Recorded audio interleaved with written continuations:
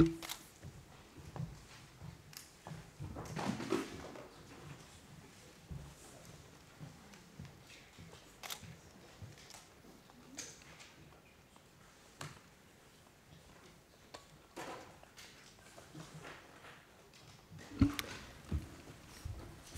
open de vergadering van de parlementaire enquête. Apro la ehm, commissione. Wacht. Leiden.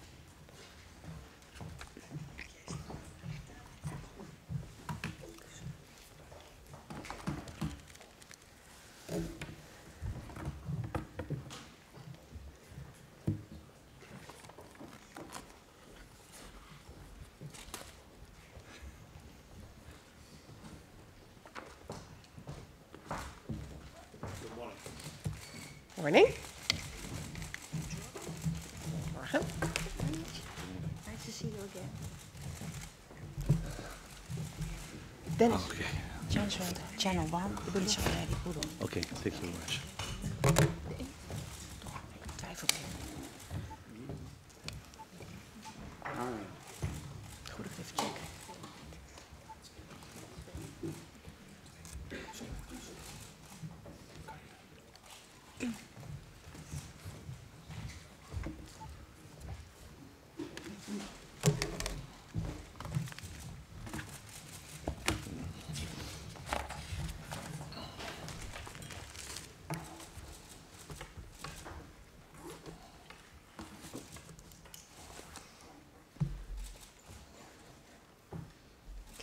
Welkom, meneer Manfalotto.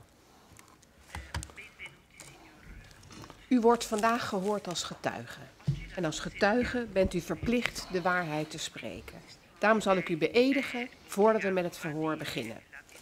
En dan vraag ik u met de eed te bevestigen dat u de gehele waarheid en niets dan de waarheid zult spreken. Wilt u met mij gaan staan? Wilt u de twee voorste vingers van uw rechterhand opsteken en mij nazeggen, zo waarlijk helpen mij God Almachtig. Giuro di dire solo la verità. Dank u wel.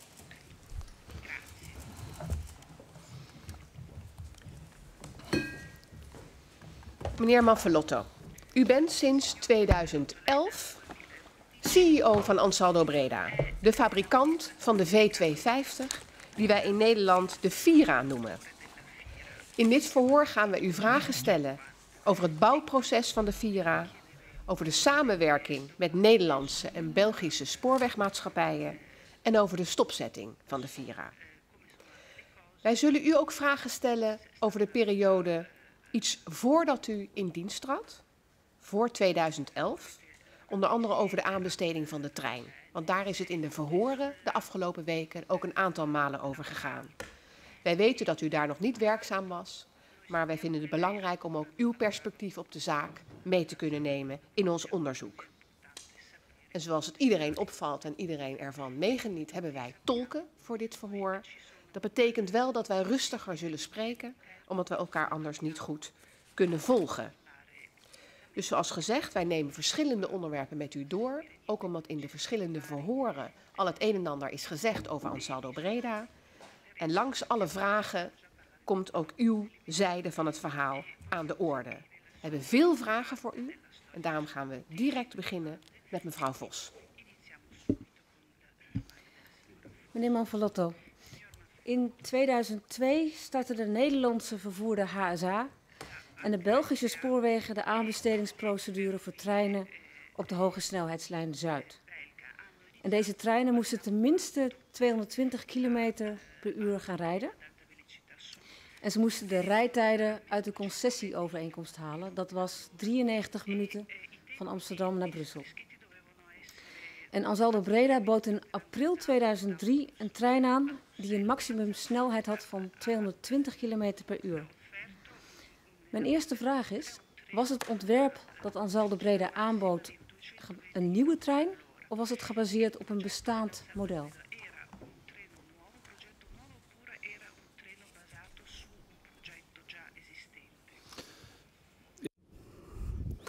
Het ontwerp was gebaseerd op uh, ervaring die we al hadden. Er is een, een kleine vertraging in uh, wat ik hoor. Is daar iets technisch aan te doen? Er is een soort echo in, de, in mijn. Uh, uh, Griffier? Ma solo quando parlo. Ora va bene, ora va bene. Oké. Okay. Oh. Nu is het goed, het is alleen als ik praat. Proef, proef. Ik, ik hoor mezelf.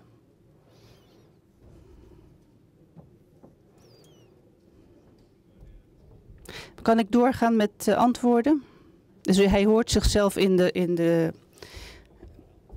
de hoge snelheidslijn was voor ons een, een ervaring die we al heel vaak gehad hebben. Dat hadden we al vaker meegemaakt. In 1996 heeft Ansaldo Breda al hoge snelheidslijnen treinen gemaakt die 230 km per uur reden. Deze uh, werken nog steeds uh, en worden nog steeds gebruikt. Dus uh, treinen maken die op 200 km per uur of 220 of 250 km per uur rijden. Dat was geen enkel probleem. Dat was een probleem van het uh, aanpassen, de, uh, de, de aandrijving aanpassen. En dat is dus, was geen enkel probleem. Uh, 220 trein gebaseerd? Was dat de ETR 500, de L'ETR 500 che è tuttora... ETR 500, die nog steeds uh, gebruikt wordt, is de trein die uh, uh, vele exemplaren gemaakt is. In, totaal hebben we er 60 van gemaakt. Die worden nog steeds gebruikt. Dat, dat is 70% van de vloot, van de Italiaanse vloot van HSL-treinen. En uh, de Belgische spoorwegen, op welk ontwerp was dat gebaseerd? Wat is, was de basis? Eh, guardi, noi parliamo... Wij hebben het over um, platformen, niet modellen. Er zijn bepaalde projecten kunnen uh, gebaseerd worden op uh, bepaalde structuren, uh, zoals de convertors en dat soort dingen. Sorry dat ik zo technisch moet zijn, maar dat is mijn werk. En alles wat daarbij komt, wat met de treinstellen te maken heeft, die kun je extra erop zetten. En die hebben dan te maken met de uh, aerodynamica en het gewicht. Maar verder gaat het natuurlijk vooral om de tractie en de treinstellen. Wat wij deden, dat was gebaseerd op bestaande platformen van Ansaldo Breda. Wij zijn benieuwd welke platformen dat waren. ETR, ETR 500.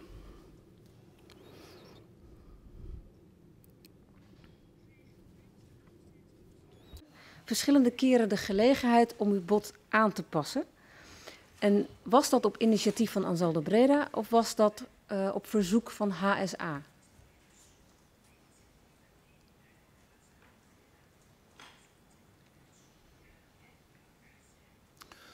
Maar io ik was er niet in die periode, dus ik kan mij dat niet herinneren. Ik heb geprobeerd om daar uh, helderheid over te krijgen, maar ik denk dat het een initiatief was van Ansaldo Breda om, om overtuigender te zijn. En om meer kans te hebben ook om een goed aanbod te kunnen doen.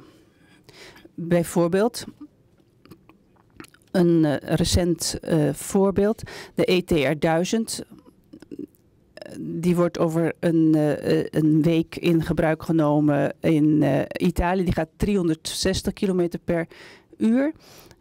En, en eigenlijk was hij oorspronkelijk voor 300 km per uur geontworpen. Maar dat zijn innovatieve projecten.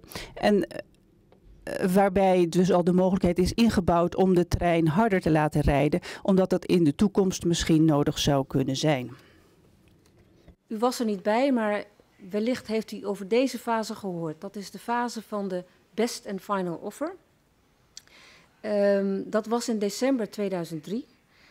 Um, toen bood u opeens een trein aan die 250 km per uur kon rijden. In plaats van 220 km per uur. Onze vraag is, had HSA verzocht om snellere rijtijden? uh, zoals de heer Dubken aangaf? Of was dat eigen initiatief?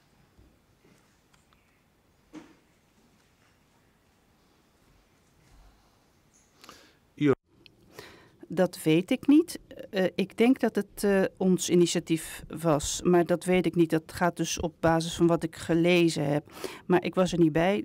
Ik zou kunnen zeggen, als ik in die omstandigheden was geweest, dan had ik het zelf aangeboden. Maar ja, ik was er niet bij. En dan in de tweede helft van december uh, verzoeken de Nederlandse en Belgische spoorwegen om een nieuwe offerte voor maar 12 treinen in plaats van 23 treinen. Waarom werd de, de, prijs van de trein in januari 2004 met 1 miljoen per trein verhoogd?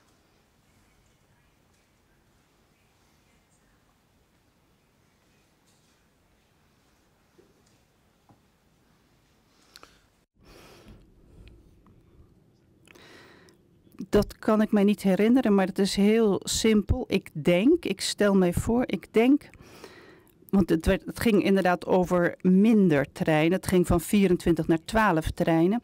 Dus het antwoord is simpel. Als je een contract hebt en dan gaat een contract wordt anders, dat gebaseerd is uh, op iets anders, dan heb je natuurlijk de investeringen die je hebt gehad. Als je die uh, verdeelt over 24 treinen, dan is de prijs uiteraard anders dan als je dat verdeelt over 12 treinen. Ja. Wist u in januari 2004 dat u de enige overgebleven aanbieder was?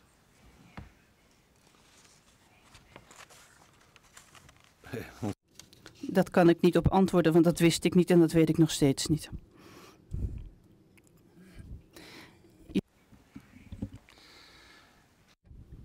Buongiorno.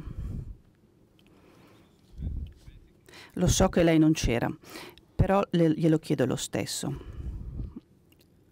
Allora tolgo il volume. E quell'offerta migliore è... Mm. De commissie heeft vastgesteld dat er uh, op 10 en 11 december nog kleine wijzigingen zijn aangebracht na de sluiting van dat best and final offer door Ansaldo Breda. Um, gebeurt dat vaker, dat er na dat het allerlaatste moment is geweest nog wijzigingen worden gemaakt?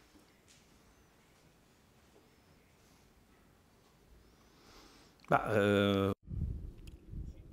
Dat kan. Dat kan. Dat kan op verschillende. Je kunt de dingen op verschillende manieren benaderen.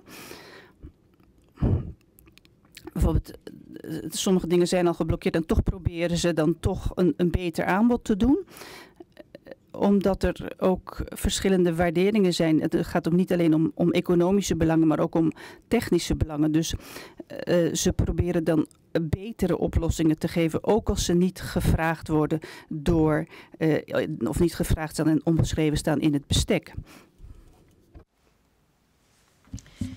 Ik heb nog één vraag over de onderhandelingen die dus dan starten na januari uh, 2004.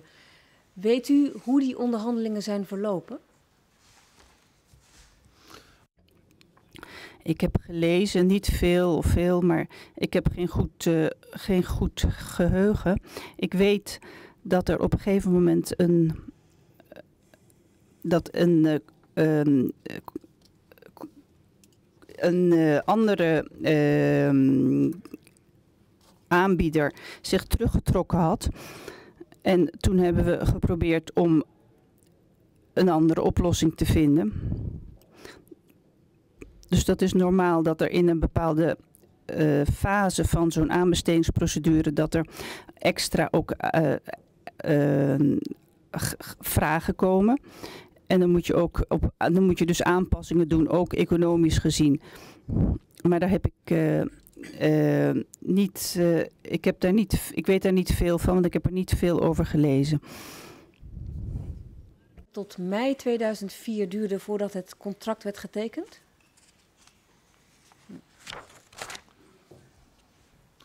No, Frank. Nee, dat weet ik eerlijk gezegd niet. Ik denk dat dat komt door lange onderhandelingen om alle eisen en zo fijn te tunen en te kijken uh, dat alles ook van economisch oogpunt haalbaar zou zijn. Uh, en overeen zou komen met de, de, de technische eisen ook. En uh, dit is een trein die uh, deel uitmaakt van een systeem. Een systeem, een hoge snelheidslijn. En dat, daarbij hangt alles dus aan, af van uh, de samenwerking tussen die twee dingen en ook van de controlesystemen uiteraard. Dat is namelijk een cruciaal punt. Daar gaan we het nu over hebben, de samenwerking. Um, Ansaldo Breda heeft koopovereenkomsten gesloten met NSFSC, de Ierse dochter van NS, en de Belgische spoorwegen. En dat waren turnkey overeenkomsten. Wat verstaat u onder turnkey in dit geval, bij het bouwen van treinen?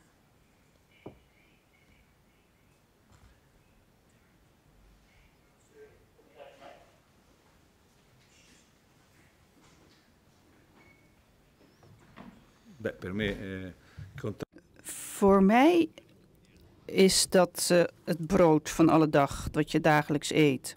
Vooral als we het hebben over HSL en over metro's. Turnkey wil zeggen dat de verantwoordelijkheid is voor verantwoordelijkheid van de leverancier van de trein. Het is wil zeggen dat hij alles moet doen.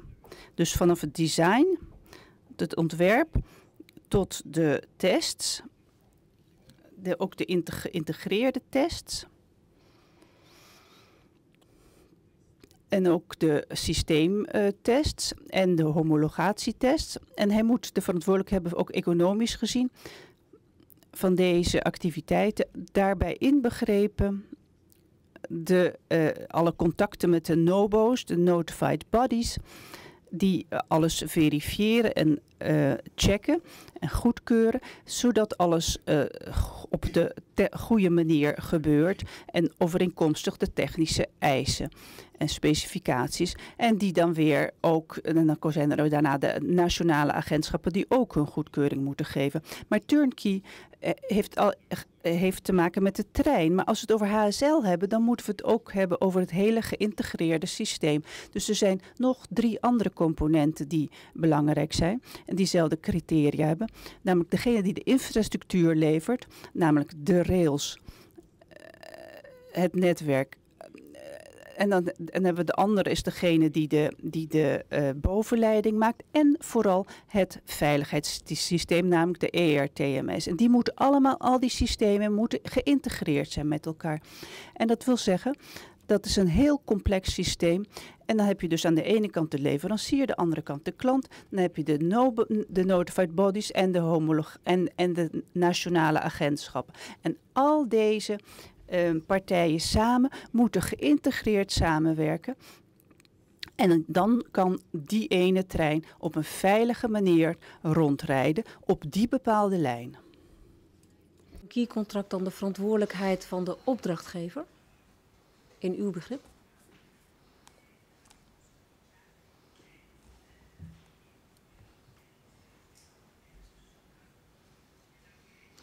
Beh, è fondamentale. Eh, dat is natuurlijk een, fundamenteel, uh, die is, dat is een fundamentele verantwoordelijkheid.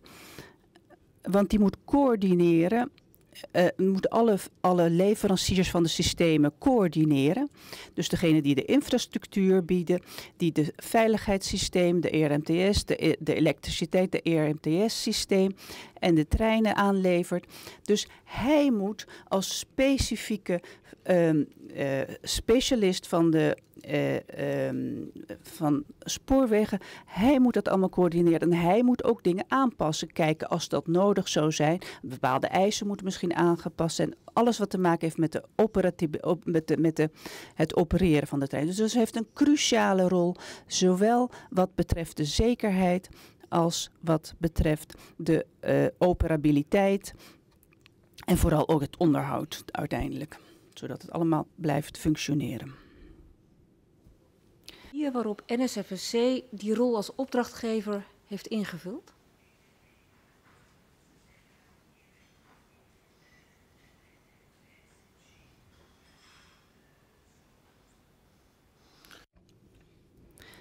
Nou, dat heb ik al uh, heel vaak gezegd. Dat heeft hij een absoluut incompetente manier gedaan, zelfs op onverantwoordelijke wijze en zeker niet op een coöperatieve manier. Je hoeft maar te denken aan, en dat heb ik me trouwens persoonlijk heb ik me daarmee bezig gehouden. ik heb dat. Uh, ik moest uitleggen wat de vereisten waren, de technische vereisten, en wat hun en ook wat hun technische, uh, wat zij moesten doen. En, dus dat was totaal absurd. Ik heb met bedrijven gesproken waarbij de mensen niet competent waren en ze hadden ook geen structuren uh, die goed functioneerden en ze hadden ze ook niet. Ze waren er gewoon niet. Maar... Is kennis bij Lloyds in te huren?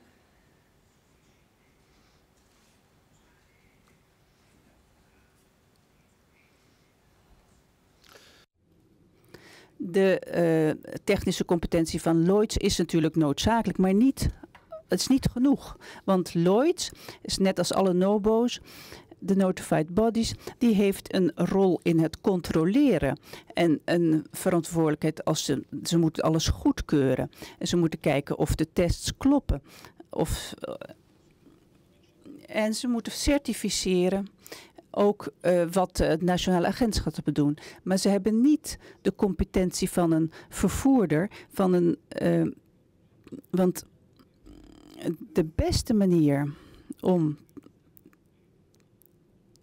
een, een, een, dit product goed te kunnen gebruiken, dat is natuurlijk de rol van degene die dit systeem moet gebruiken. Dus de vervoerder zelf. Die moet weten wat hij wil en wat, wat, wat, wat er moet gebeuren. Ik heb dit in uh, het verleden veel uh, bij de hand gehad. En ik heb altijd een klant uh, te maken gehad met klanten die weten wat ze doen. Met heel veel structuren. Uh, ook al, en die vanaf het ontwerp en vanaf het testen al uh, zich ermee bemoeien en weten wat er moet gebeuren. Want een trein is niet iets wat je kunt besturen door op een, een, knopje te drukken. Je hebt, zijn er behoorlijke competenties en verantwoordelijkheden bij nodig en vooral kennis. En ook, voor, ook de mensen, want het gaat om mensen die je transporteert, die je vervoert. Het gaat op hoge snelheid, dus je moet echt wel weten wat je doet. Want er zijn behoorlijke risico's aan verbonden. Wat de vervoerder dan moeten hebben in dit project?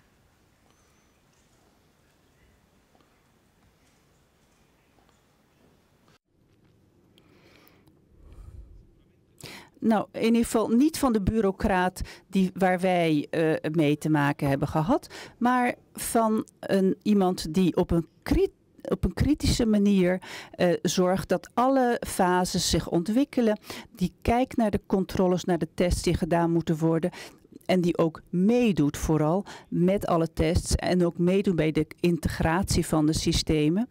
Dus ook met name met het ER- en TMS-systeem. En dat is absoluut niet gebeurd. We hebben hele grote uh, moeilijkheden ondervonden, vooral bij de, in de testfase, omdat uh, het werd niet eens gezien als nodig dat de tests werden gedaan. Um, want wij hadden, uh, we hadden heel weinig tijd. We hadden maar twee uur tijd om de tests te doen op het veld, terwijl dat de allerbelangrijkste tests zijn die er zijn mijn uh, ervaring verder met andere klanten is, dan heb je dan zijn er een heleboel technici in het veld die door de, door de vervoerder worden aangeboden. En dat zijn evenveel technici van de vervoerder als van mij op het veld. Op dit moment bijvoorbeeld uh, beginnen we ook met de commerciële ingebruikname van de ERT 1000. En 500 keer, meer dan 500 keren hebben wij een testrit gemaakt met aan boord van deze treinen zijn er minstens 100 mensen. Dat zijn allemaal technici. Ik wil toch nog even doorgaan op Lloyds. Uh, Lloyds, die was ingehuurd, die deed precies wat u net zei. Het begeleiden en het meekijken met de bouw. Wat was daar dan mis aan? Hm.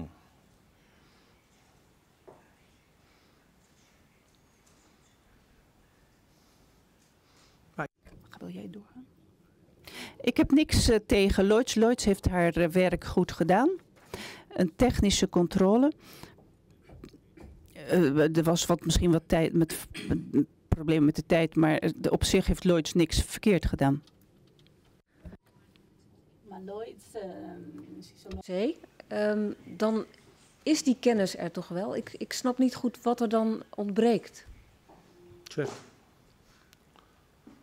Eh, ripeto, ik herhaal dat de rol van Lloyds een technische rol is van ingenieur, ingenieurs op kantoor die bepaalde procedures en processen en testen uh, nachecken op correctheid van uitvoering. Dus ik zal het uitleggen als je.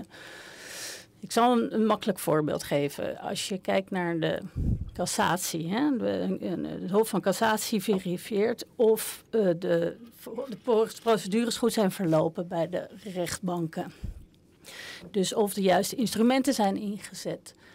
En dit is allemaal correct verlopen. En dus ze hebben uh, een, een, goede verklaring afgelegd. Maar dat is een heel andere rol dan de rol van een kritische uh, technicien, monteur. Hij kan uit ervaring praten. Hij heeft specifieke uh, ervaring. Lloyds is niet een, een spoorweg-operator.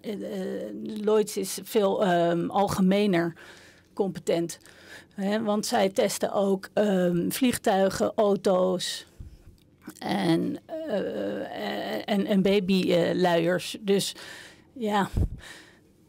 Dus, dus zij, zij uh, verifiëren alleen maar of, of, een, of een gang of een procedure goed is doorlopen. Dat is iets heel anders. Dat uh, de Nederlandse partij NSFSC iemand had moeten sturen om echt met uw monteurs mee te kijken? En mee te bouwen?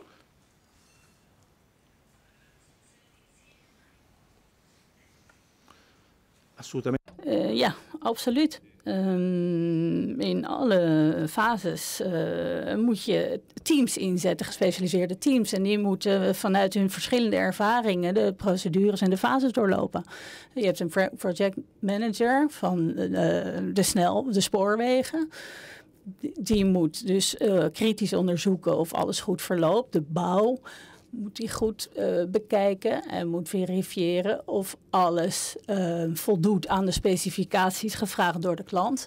En moet ook deelnemen aan de test, aan de testritten en moet alle technische aspecten controleren. En dat zijn er een heleboel en die hebben te maken met de opvolgende fase de hoeveelheid informatie die een machinist of de onderhouder in de toekomst zal krijgen om uh, uh, van tevoren, hè, om te kunnen anticiperen op problemen, komt voort uit een competentie die, uh, ja, die, die je samen ontwikkelt en die je samen vormt, ervaring, kennis kan zeggen, ik zie dat uh, deze dingen wat complex in elkaar zitten en dat verbaast me niet. Want uh, ja, ik heb wel naar andere spoorwegoperators geluisterd.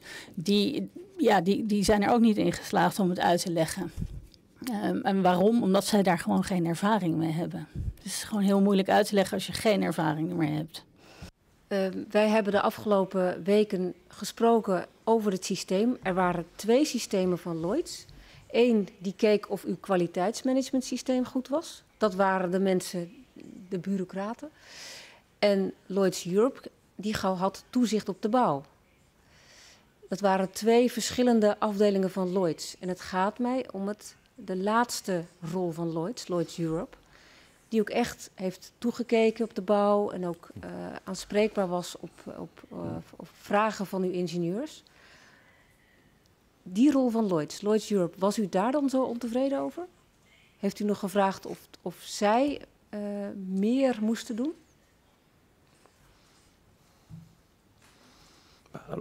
Lloyds Europe um, was inderdaad uh, bevoegd tot het um, onderzoeken of de bouw verliep volgens de eisen. Dus ik, ben, ik heb het ook niet over Lloyds Europe, ik heb het over over zeg maar, ik, ik word dan boos op mijn bouwers als ik uh, verslagen krijg van Lloyds Europe als, als er iets niet goed is. Dan zeg ik dat, eh, kijk, alle metingen, daar moeten wij een opvolging aan geven. En dan moeten we samen met hun een, een PV opmaken waarin staat, ja goed, dit of dat was niet goed, maar is in orde gemaakt competentie van Lloyds Europe. Um, uh, was u daar ontevreden over? Die kwaliteits, die, die toezichthouders op de bouw? Ja. Nee, nee, nee. Lloyds is heel belangrijk. Het is een internationaal bedrijf. Net in alle gevallen. Ja, je hebt altijd goede en minder goede monteurs en techniciëns, maar ik heb niks te klagen over hun uh, competentie. Heeft u op enig moment in het proces gevraagd om um, meer betrokkenheid van NSFSC bij de bouw van de trein?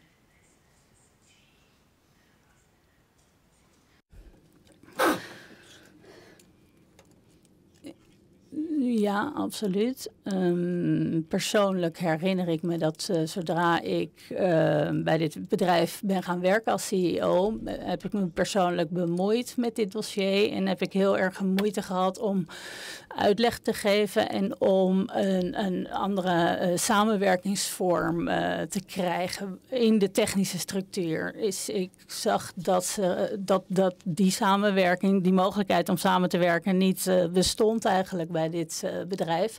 Het is een uh, minder technisch bedrijf, meer een, een managing uh, company, zeg maar. Een, een financial holding. En er was één man eigenlijk. En dat, dat, is veel te, dat was veel te weinig. Er moesten meer mensen zijn. En je moet echt meer mensen hebben. Je moet iemand hebben die streng toezicht houdt. Iemand die aanwezig is, present is en die heel uh, constructief meewerkt en meekijkt. Maar in dit geval ontbrak die persoon geheel en al. Heeft u wel eens gevraagd of HSA, de vervoerder, meer betrokken kon zijn?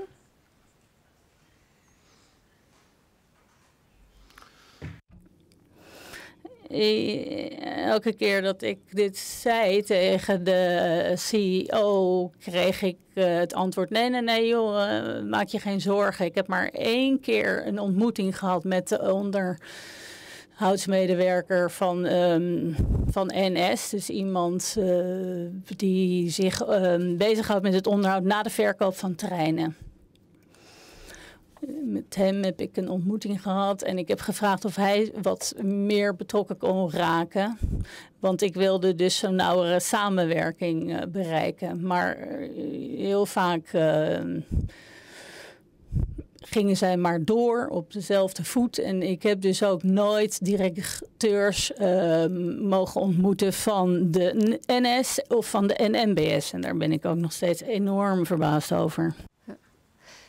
U zei net dat u wel eens naar aanleiding van een rapport van de mensen van Lloyds Europe, dus de, de toezichthouders, dat u boos werd op uw eigen mensen.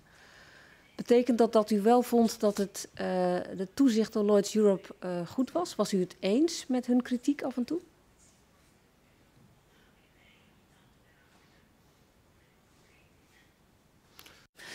Um, als er een kwaliteitssysteem bestaat, dan moet je dat volgen en in acht nemen. En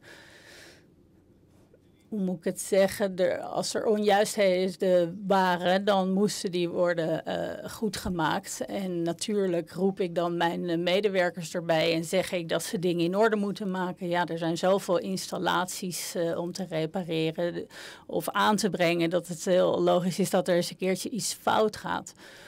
Maar kwaliteit is natuurlijk van fundamenteel belang voor de uitvoering. Maar ik heb het nu over kwaliteit en niet over veiligheid. Uh, je kunt geen controles uitvoeren op veiligheid voordat wij uh, de juiste uitvoering hebben geverifieerd. Hè. Dit zijn wel twee verschillende punten. Ik wil niet dat u ze door elkaar houdt. Dus ik heb het nu over kwaliteit.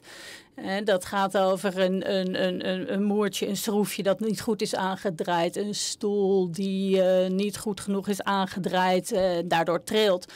Uh, maar het is natuurlijk ondenkbaar dat een rem verkeerd is uh, geïnstalleerd en dat niemand dat opmerkt. Dat, is, dat bestaat niet. Dat uh, moet bovenkomen bij de test op veiligheid.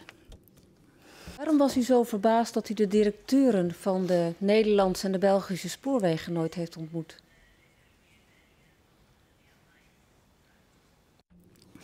Ja,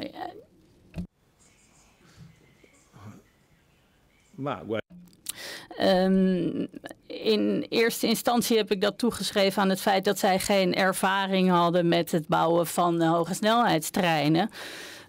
Ik was verbaasd dat als iemand daarom vraagt en als ik toon, aantoon dat ik ervaring ermee heb en zeg van ik werk in dit geval met collega's in andere landen op die en die manier samen, dan is daar helemaal geen, geen, geen gehoor aan gegeven. Dus ik, het leek me echt dat ze dat niet eens wilden. Ehm, ik moet u in herinnering brengen dat wij de hele tijd haast, uh, dat er de druk werd gezet. Uh, we moesten strafboetes betalen en dat zou voor ons heel problematisch zijn. Dus uh, we zijn maar doorgegaan, al heb ik erop aangedrongen dat er meer samenwerking was, meer contact was, meer uitwisseling. Ik heb het echt een paar keer gevraagd of ik deze mensen mocht, uh, mocht ontmoeten, uh, of ik mensen met ervaring kon ontmoeten, maar ja, die, die waren er niet. Wanneer heeft u dat gevraagd? Uh, herhaaldelijk. Ik ben dus in september 2011 gaan werken bij Ansaldo Breda. Dit was een van de eerste problemen die ik heb aangepakt. Een jaar later hebben we één trein uh, op de rails kunnen zetten. Toen uh, kreeg ik, toen heb ik dus een jaar lang gevraagd om steun. Maar er waren ook geen lijnen beschikbaar voor de treinen. Dus ja, ik vind het eigenlijk nog knap dat wij die trein zo snel hebben kunnen leveren. Uh, de, de trein uh, kon goed presteren, al had hij veel minder testritten uit kunnen voeren dan, uh, dan gepland. En ik heb wel gezegd, de ETR 1000 hebben we 500 keer gedurende zes uur getest. Um, we, hadden al, we hadden in dit geval maar twee uur per dag de tijd om te testen. Nou, dat is absoluut onvoldoende. Wat waren nu voor Ansaldo Breda de consequenties uh, van het ontbreken van een betrokken vervoerder en die technische kennis bij dit project?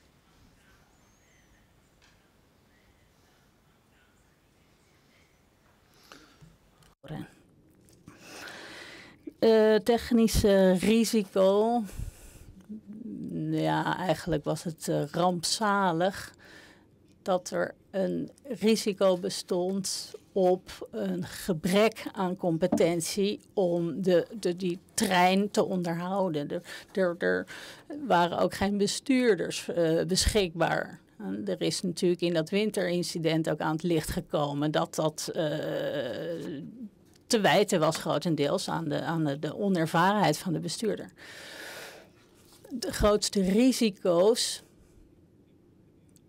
bestonden in, uh, in, in eigenlijk uh, uit hun um, ja, gebrek aan vaardigheden, aan competentie.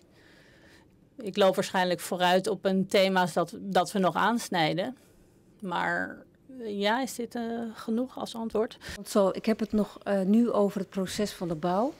Maar ik begrijp dus goed dat u zegt dat Lloyds, de kwaliteitstoezichthouders van Lloyds, wel competent zijn. Um, um, maar dat zij, Lloyds, de vervoerder, die er uiteindelijk mee gaat rijden, niet kan vervangen.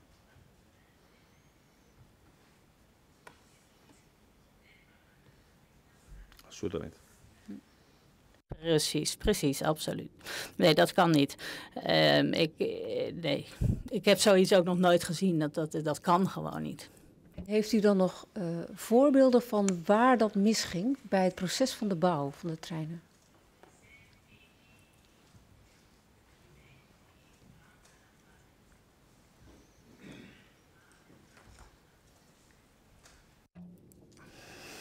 Nee. Dit soort situaties. Um, vind je geen uh, obstakels zeg maar, in die bouwfase, maar juist in die testfase, in die homologatiefase, dan kom je die problemen tegen. Op dat moment komen aan het komen de, de, incompetenties uh, aan het licht. En die, die, die verhinderen uh, dat er met die trein kan, kan worden uh, gereden. Dat er veilig kan worden gereden. Dit, dit zijn allemaal heel andere zaken. Als u een auto koopt, dan is het van fundamenteel belang dat de belangrijke delen van de auto werken, goed werken. En ja, dat, daarover valt niet te twisten in het contract. Maar als je ziet dat er een boertje los zit in de auto. Eh, of dat er uh, een papiertje ontbreekt in het onderhoudsboekje, dan uh, is dat wel belangrijk. En dat moet dan ook worden opgelost. En dat moet worden opgelost door de uh, daartoe aangewezen bedrijven. Dit soort competenties was niet aanwezig. Ik snap dat het heel moeilijk is te begrijpen. Ik vind het ook moeilijk om uit te leggen. Maar de bouw van een hoge snelheidslijn is te, vergelijken met de bouw van een vliegtuig, maar van een prototype vliegtuig. Niet van een uh, vliegtuig die voor de duizendste keer wordt gebouwd, maar gewoon het eerste ontwerp van een vliegtuig.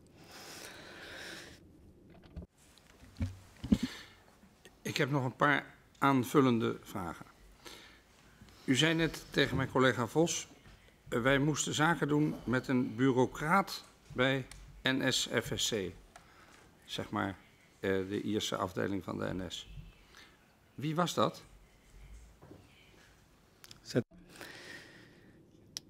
Ik weet de naam niet, maar het was de CEO. Ik weet niet meer hoe hij heette. Sorry.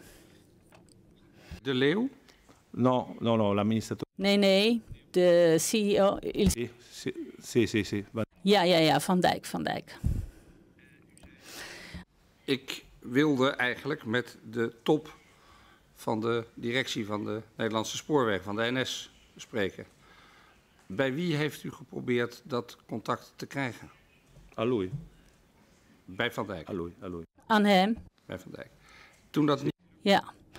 toen dat niet lukte, heeft u toen geprobeerd zelf rechtstreeks, uh, bijvoorbeeld bij de president-directeur van de NS of bij de president-commissaris van de vennootschap, om daar te klagen, contact te krijgen?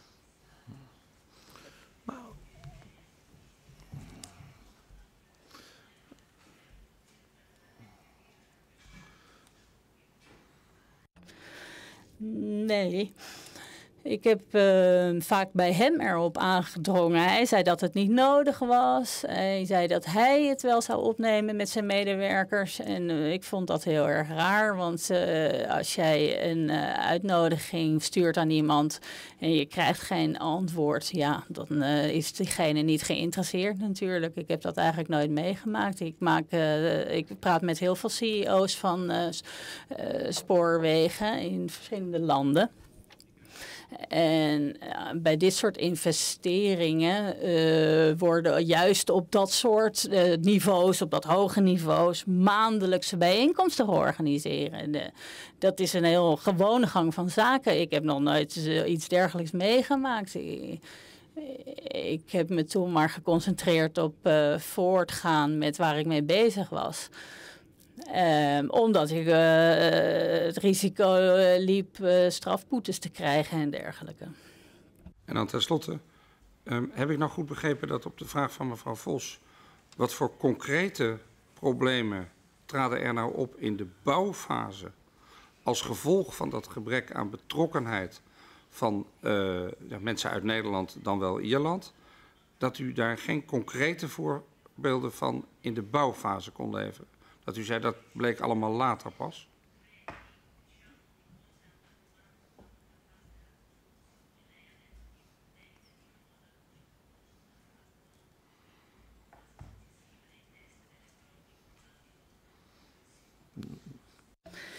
Nee, ik heb wel, ik heb gezegd, eenvoudigweg, op haar vraag haar vraag was of Lloyds zijn werk goed had gedaan. Toen zei ik ja. Maar bij Lloyds kwamen wel kwaliteitsproblemen aan het licht. Dat zijn geen veiligheidsproblemen. Trein, de treinen uh, hadden nog geen problemen opgeleverd. Die uh, veiligheidsproblemen die hebben te maken met tuning. Um, andere problemen waren er niet. Er waren dus problemen inderdaad uh, in, de, in de, de, de, de opvolgende fase, de, contractfase. De, de treinen hebben goed gepresteerd. Um, en die trein presteerde ook binnen enkele weken steeds beter. Dus uh, presteerde net zo goed als de concurrerende trein. Dus eigenlijk de probleempjes die uh, bleven bestaan hadden te maken met fine-tuning. Uh, ik ben dus zo verbaasd dat dit maar telkens wordt gezegd. Ik uh, geloof niet dat er problemen waren vanaf het moment dat het contract werd getekend. Ja, de, de, de, de, trein op zich leverde geen problemen op. De, mag ik. Mevrouw Vos. Beh, però mi scusi, devo Ja, maar ik wil wel bevestigen dat um, de, het Italiaanse agentschap direct vergunningen heeft afgeleverd voor het testrijden. En bij de eerste testrit heeft de trein herhaaldelijk 250 km per uur gehaald. Dus die trein was perfect in orde. Komen we daar nog op?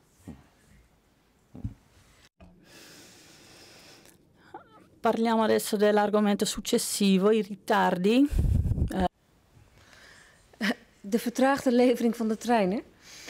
Uh, volgens de planning en de uit de koopovereenkomst zou de eerste trein om testritten uit te voeren gereed zijn op 1 juni 2006.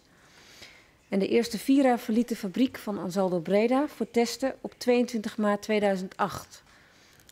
Dat is dus twee jaar later. Wat is de verklaring van die twee jaar daartussen?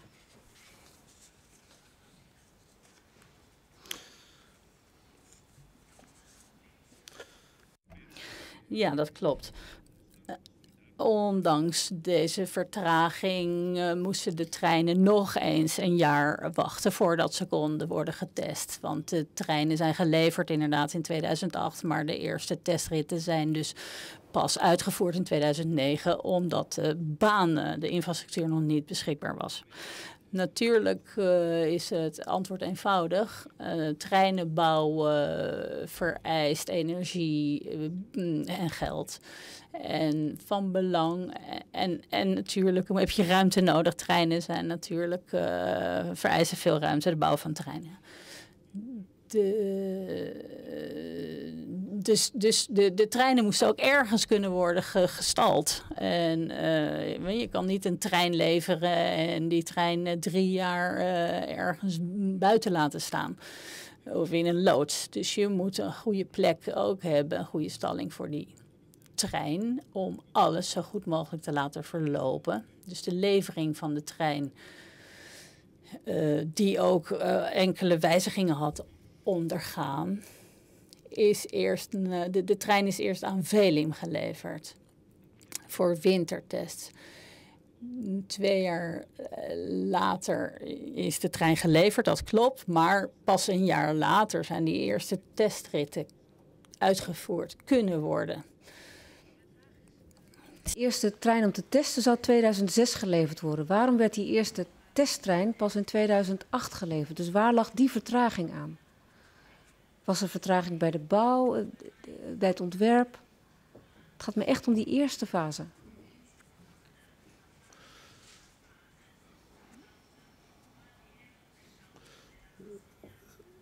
Non ho, eh, io non ho approfondito, ma immagino che... Ik uh, heb dit niet uitgediept, maar we hebben met de klant wat twijfels en wat problemen uh, moeten wegnemen. En de voornaamste reden ken ik eigenlijk niet. Ik sluit echter niet uit dat toen er heel veel, dat er heel veel vertraging is opgelopen vanwege de nieuwe versie ERTMS. Dus uh, het ontwerp moest ook worden aangepast daardoor. ERTMS is een instrument dat alleen uh, op de grond werkt, maar vereist ook boordapparatuur. En die staan in verbinding met de remmen en met de uh, versnelling. Dus de ERTMS conditioneert dus het, de hele uh, boordinstallatie ook. Het is heel complex om dat uit te leggen. Zoals ik al zei, ERTMS is een um, veiligheidssysteem dat ervoor zorgt dat treinen veilig zijn. Het is geen uh, autonoom veiligheidssysteem. Het systeem heeft apparatuur aan boord. Dat, die apparatuur wordt gebouwd door mijn bedrijf. Dat, die apparatuur ontvangt informatie, zodat de trein zich kan uh, geïntegreerd met de infrastructuur kan rijden. Dus we konden die trein dus niet eerder afbouwen en hem naar Velim sturen. Er moest van alles worden gewijzigd. Uh, maar is dat nu de reden? Want ERTMS, het systeem, kan je later inbouwen in een trein. Uh, de, bij de Thalys en ICE is dat ook later no. ingebouwd in de trein. Is dat nu de reden van die twee jaar vertraging voor het opleveren van een testtype? No, no, io questo ho detto, ho detto che non li conosco. Nee, nee, ik heb gezegd dat ik het niet weet. Ik, ken, ik weet niet alle redenen. Maar ik veronderstel dat dit een van de redenen is. Dat dat te maken heeft met het, met het zijn-systeem. U zei het net al, in 2008, dat gebeurde op een testbaan in Tsjechië, in Velim. Waarom werd er niet in Nederland getest? Omdat er infrastructuur niet klaar was. Er was geen beschikbare infrastructuur. Het was niet mogelijk om tests uit te voeren. Alle, je moet inderdaad uh, tests uitvoeren tot 200 kilometer per uur, maar dan niet in ideale omstandigheden. Het definitieve homologatiesysteem vereist specifieke tests op infra, op de specifieke infrastructuur. Dus VELIM is een soort pre-test circuit. En dat is best nuttig, want het is een uh, goed uitgerust circuit voor allerhande tests. Maar het circuit volstaat niet om alle tests uh, uit te voeren. Waarom heeft u dan niet in Nederland getest? Omdat dat op dat moment niet mogelijk was. Er was geen, de, de infrastructuur was niet klaar. Nederland was nog niet gereed. Dat weet u wel. Et certo. Precies. Die Vira in Nederland die begonnen in juli 2009. Uh, en de Thalys die begon al in 2007 met testen op die HSL. Waarom kon de Vira niet beginnen in 2007 met testen op de HSL?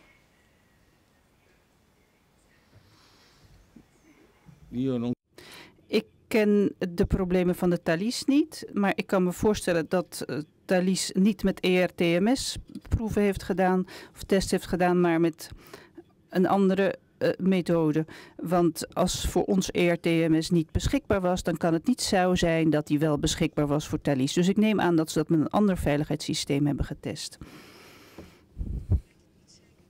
Vira niet kon testen vanaf 2007. Dat is een aanname.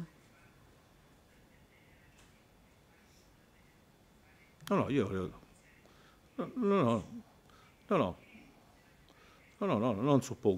Nee, nee, nee, dat is dat veronderstelling. Ik weet dat de tests niet gedaan konden worden, want de infrastructuur voor de, de ER en TMS was niet beschikbaar. En dat is een fundamenteel element voor de tests. De Thalys is eerder begonnen. Ik weet niet hoe Thalys dat heeft gedaan, dat moet u aan Thalys vragen, maar Thalys is niet van mij. Maar als de Thalys rondreed, dan heeft hij waarschijnlijk met een ander signaleringssysteem rondgereden voor die test. Ik weet alleen dat een van de dingen die er gebeurden, is dat wat wij, wij moesten wel ruimte laten voor Thalys om tests te doen. En dat was voor ons heel raar, want wij begrepen niet waarom daar, zij dan wel tests konden doen. En toen het systeem, het ERTMS-systeem beschikbaar was, toen zijn we begonnen met de tests. En dat was pas en, maar en toen moesten wij ook nog rekening houden met Thalys, want wij mochten minder tests doen. Er was voor ons heel weinig ruimte, want Thalys moest uh, doen. Dus wat dat betreft, dat is wel een belangrijk aspect. Um, in de koopovereenkomst staat de aanname dat HSL Zuid per 2006 beschikbaar zou zijn, en dat er 10 uur per dag achter elkaar getest zou kunnen worden. Dat was dus niet het geval. De ASL, de infrastructuur, kwam pas later beschikbaar. En toen moest de baan inderdaad worden gedeeld met de Thalys en ook de Trax-treinen die er overheen reden. Wat voor gevolgen had dat dan precies voor uw programma, uw testprogramma?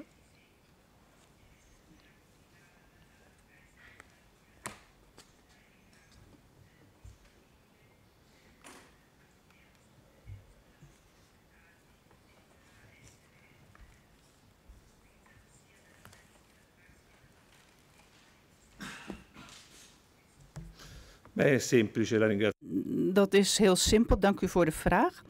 Het was, uh, dat was een heel pijnlijk punt waar ik erg onder heb geleden eigenlijk. Wat we hebben gezegd, uh, we konden niet eerder beginnen met de tests. Maar in plaats van tien uur eh, ter beschikking te hebben, hadden we maar twee uur ter beschikking. En niet eens achter elkaar. Dus dus wat dat betreft heeft het natuurlijk enorme invloed gehad op de, uh, ja, op de tijd. Want ik had maar twee, we hadden maar twee uur in plaats van tien uur beschikbaar. Dan hebben we niet een vijfde minder, maar veel meer.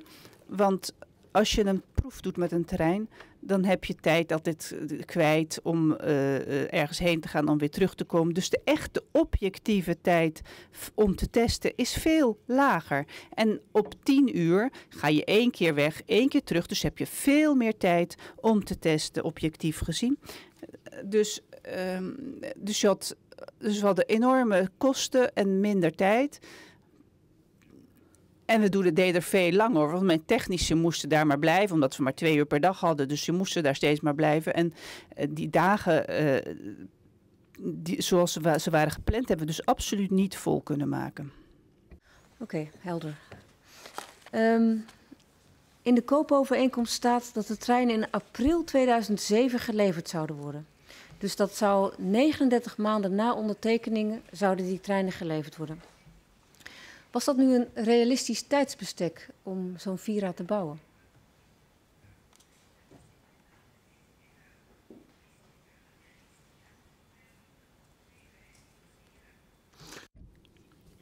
Volgens mij wel. Hoewel ik uh, sommige concurrenten zeggen dat dat niet zo is, maar ik uh, zal het uh, een voorbeeld geven. Ik ben in 2011 komen werken bij Ansal Breda. Wij hebben de ETR 1000 ook gerealiseerd. Dat is een veel krachtiger trein dan de Vira.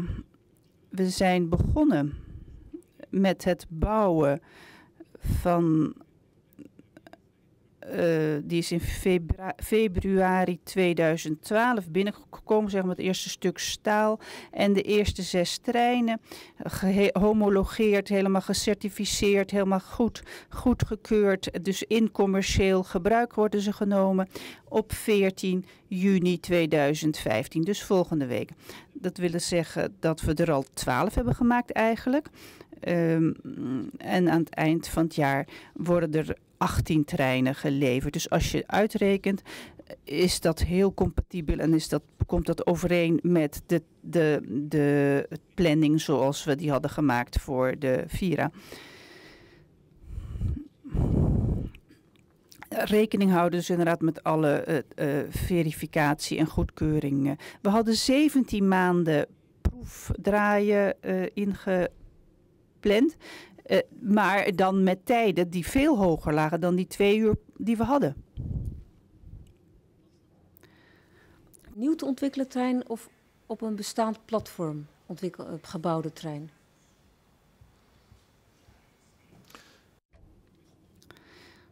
Dit is een trein die we in Pistoia aan het maken zijn samen met Bombardier. Uh, die begint van, van een platform dat inderdaad al bestaat, maar die wel heel erg gemodificeerd is. Want het is geen Europees platform. Uh, en dus het hele gedeelte, het hele interne gedeelte en de bovenkant is helemaal nieuw. Uh, zowel nieuwe types materiaal als van performance, als ook wat comfort betreft. Lloyds die zei dat een nieuw type trein uh, om dat te bouwen, daar heb je minstens 50 tot 60 maanden voor nodig. En de heer De Leeuw noemde destijds al de planning niet realistisch, al in 2004. Waarom heeft Ansaldo Breda voor het bouwen van zo'n nieuwe trein um, toch toegezegd om aan die planning te voldoen, 39 maanden?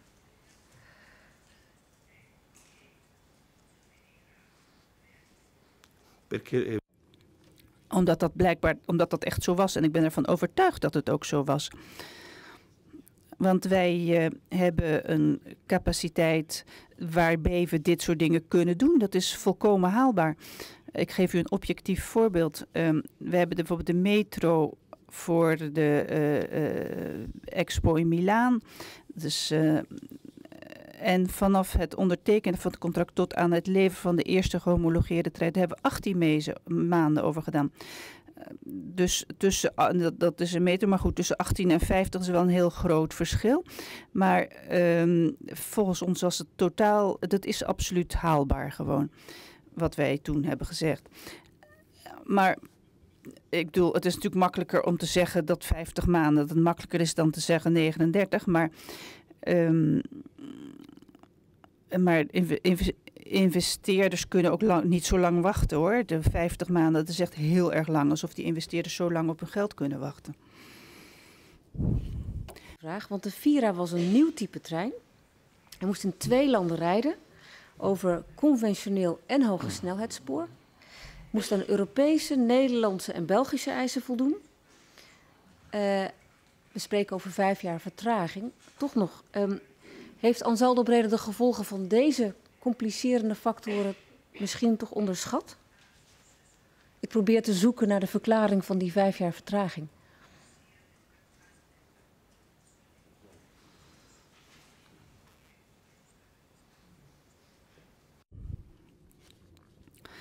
Mm, ik weet niet wat ze toen dachten. Wat ik wel. Ik weet zeker dat ze dat niet hebben onderschat. En als ik het nu zou vragen, als men mij zo'n dergelijke vraag nu zou voorleggen, dan zou ik precies hetzelfde zeggen. Dat het dus haalbaar is. Op één voorwaarde, dat de infrastructuur inderdaad klaar zou zijn.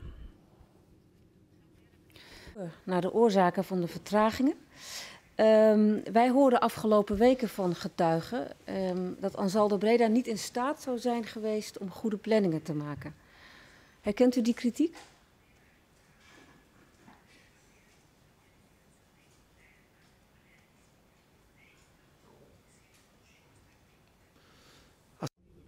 Nee, absoluut niet. Ik zou graag deze mensen willen zien en dan hen uitnodigen om eens te komen kijken in onze uh, fabrieken. Want daar zult zullen ze zich ongetwijfeld overtuigen van het tegendeel.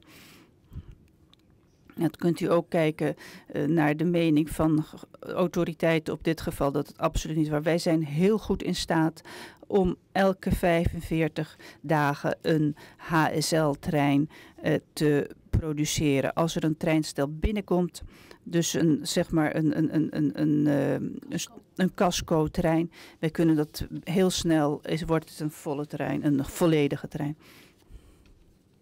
En dus dat zijn geen dingen die ik verzin, dat zijn dingen die echt zijn, die waar zijn. Dat, kunt, dat kan, dat kan uh, geverifieerd worden. Deze mensen die dit zeggen, die zijn niet geïnformeerd of ze speculeren. Queste persone sono. Quest... Um, en er is ook een audit uitgevoerd door het bureau ADSE naar de problemen met de planning. En daaruit kwam ook onder andere uit dat de planningen van Ansaldo Breda niet realistisch zijn verklaart dat toch nog een deel van de, van de vertraging?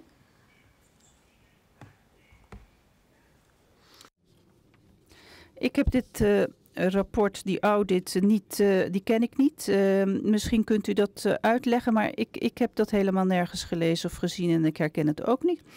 Je moet naar de, kijken naar de planning van de dingen die gebeuren. Als er aan één stuk door modificaties worden gevraagd, wijzigingen, en er worden steeds nieuwe dingen gevraagd, er is steeds geen beschikbaarheid van mensen, van dingen, dan, dan natuurlijk dan weet je niet of, of, of, of iets gebruikt kan worden. Maar we hebben er geen enkel belang bij om, om, om de planning slecht te regelen. Want dan moeten we die treinen gaan uh, opslaan ergens. Die moeten dan ergens staan en zo. Nou, dat kost ons ook alleen maar tijd. Ik geef een voorbeeld. We hebben een, uh, een jaar geleden een uh, contract voor de metro in Lima ge, had een turnkey contract ondertekend. We zijn begonnen uiteraard zoals altijd met een planning. We hebben begrepen dat een stad als Lima, dat daar moeilijkheden zijn met het doen, met het, met het maken van de infrastructuur. En toen zijn we meteen, hebben we ons de planning aangepast. En, we zijn, en om, de, uh, uh, uh, om te vermijden dat er onnodig kosten worden gemaakt en iedereen op kosten jagen, hebben we dat aangepast met de klant samen. En is dat in, in goed overleg. Um, dat is heel fijn voor de mensen in Lima. Um, maar wij hebben nog steeds zoeken naar de redenen van die vertraging uh, van vijf jaar. Uh, dat rapport wat is gemaakt, dat was uh, van dit no. rapport, 2000, u kent het niet. No, no, um, maar daarin staat bijvoorbeeld in dat de planning van Ansaldo Brede op day-to-day -day basis werd gemaakt. Terwijl ja, planning volgens mij moet je ook wat meer lange termijn maken. Um, maar u herkent dus als ik het goed begrijp, de, um, uh, niet zeg, ik ben op zoek naar de redenen van de vertraging. U zegt dat ligt niet aan Ansaldo Breda. Wij kunnen goed plannen.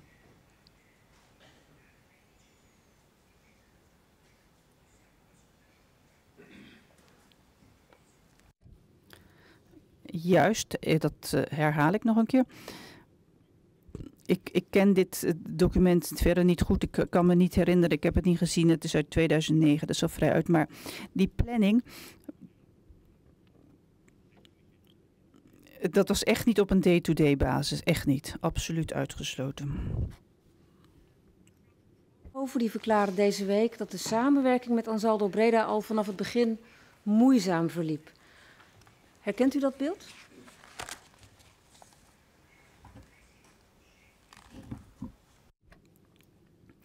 de, mevrouw van Vroonhoven is volgens mij hiermee zich gaan bemoeien pas na wat er gebeurd is toen in, bij die winterse buien. Welke periode hebben we het hier over? Lei, uh, Vanaf 2010?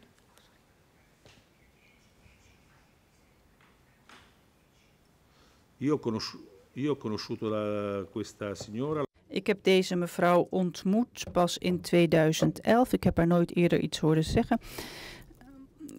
Als zij het heeft over de samenwerking. Want dat zou ik heel raar vinden. Want zij heeft altijd gezegd dat ze juist heel prettig samenwerking vond met ons. En we hebben heel veel samengewerkt.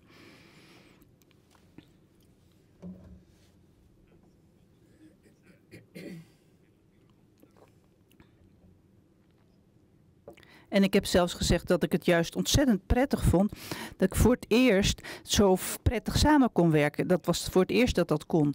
En dat heb ik haar ook gezegd, dat ik dat zo waardeerde.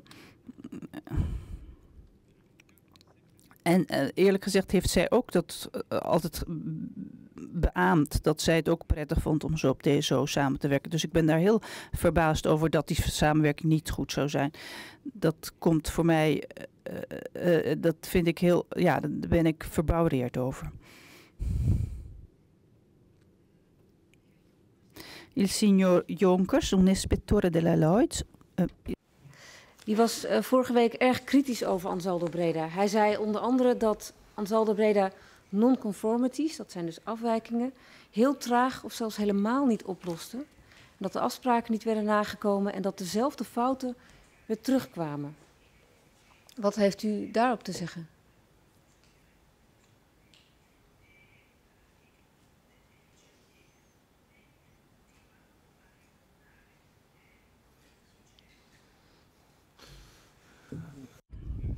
dat uh, het spijt me om zo kritisch te moeten zijn, maar ik begrijp niet. Iedereen heeft kritiek, maar, maar er zijn certificaten, bijvoorbeeld van Lloyds, die absoluut het tegenovergestelde zegt. Als er, als er dingen zijn die niet functioneren, dan schrijf je toch niet dat het wel functioneert. Dat is heel raar. Er zijn die certificaten, zijn er, de goedkeuringen zijn er. Want het is toch doodgevaarlijk anders? En ik ben de eerste die daar iets, uh, die iets zal doen als er iets niet veilig is. Dus hij moet, als deze meneer dat zegt, dan moet hij kijken naar de documenten. En u weet heel goed dat er documenten zijn die ik niet heb, die tegenovergesteld zijn. Ik heb ze trouwens nooit gezien, die documenten. En dat is heel raar. Ik hoop dat we daar straks op terugkomen. Die documenten. Um, de, de, heer De Jonkers en zijn collega rapporteerden iedere week aan een opdrachtgever De Leeuw, waarin dit soort kritiek stond in hun weekrapporten. En mijn vraag is, heeft die kritiek uit hun wekelijks rapporten u nooit bereikt? Ook niet misschien via de heer De Leeuw?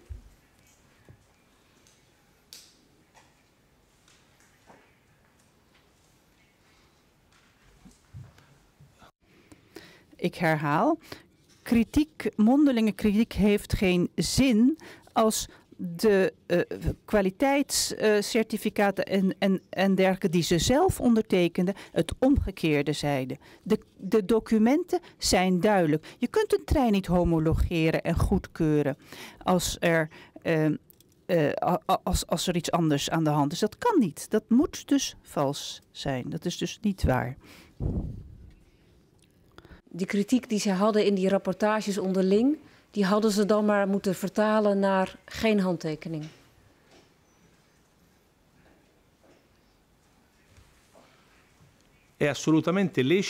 Uh, natuurlijk, als het gaat toch om veilig, je moet dat doen. Je kunt niet documenten ondertekenen als er iets niet goed is.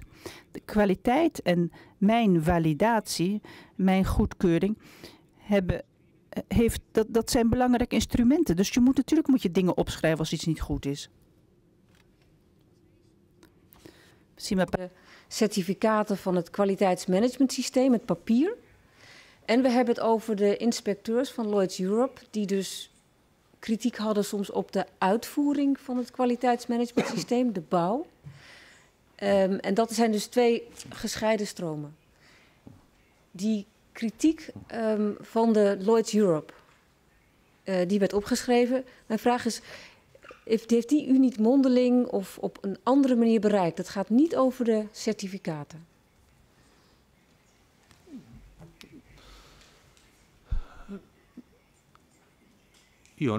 Ik niet. En als die kritiek er was. Maar er zijn wel voor elke trein certificaten die zeggen dat alles oké is en gecontroleerd en zelfs uh, met, met, met de handtekening van de leeuw. Dan moeten ze toch niet ondertekenen? Of, of pas je handtekening zetten op het moment dat de punten, zijn, de, hand, de punten waarop kritiek was zijn opgelost. Het, het, gaat over die rapportages van Lloyds Europe uh, over non-conformities. Dus de, de afwijkingen van de koopovereenkomst die dan hersteld zouden moeten worden. Deze inspecteur, de heer Jonkers, zei dat werd dan niet hersteld of traag hersteld of die fouten kwamen elke keer weer terug. Mijn vraag is of die kritiek, of u dat herkent.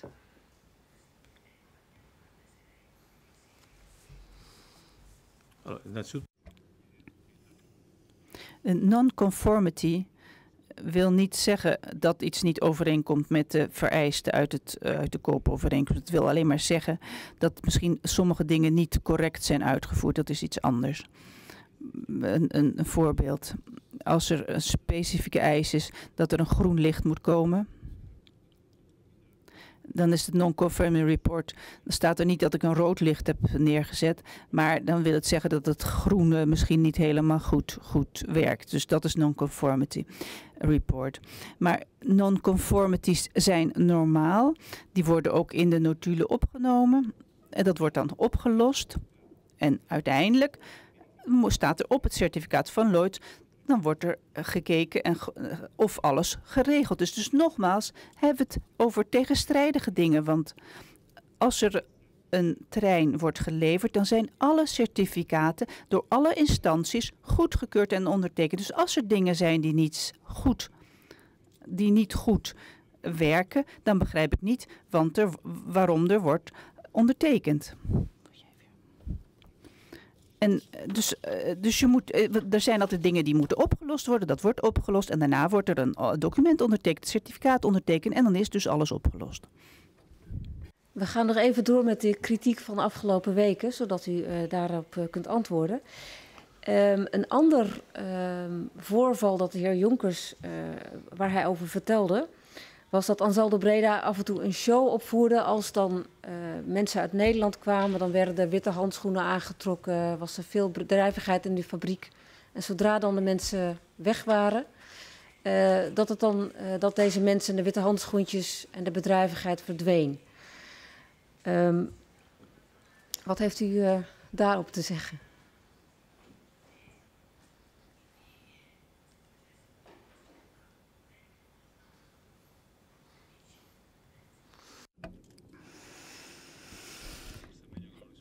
Misschien kan ik hier beter niet antwoord op geven, maar goed, ik zal het proberen te doen. Ja, dit soort shows hebben we wel vaker gezien. Uh, en natuurlijk uh, de show van meneer de Scheemaker. Maar nee, uh, die show die u beschrijft, die, die heb ik niet gezien. Ik geloof ook niet dat die is opgevoerd. zo, zo, zo, zo zijn wij niet. Dit soort mensen werkt niet bij mijn bedrijf. Ook niet op, toen, ook niet vroeger. Hij zei dat vorige week, maar hij heeft dat opgeschreven in een van zijn weekrapportages destijds. Niet wetende dat we het hier ooit nog in een parlementaire enquête over zouden hebben. Dus wat hij opschreef, uh, ja, dat heeft hij destijds gedaan. Niet om hier uh, nou ja, een show op te voeren.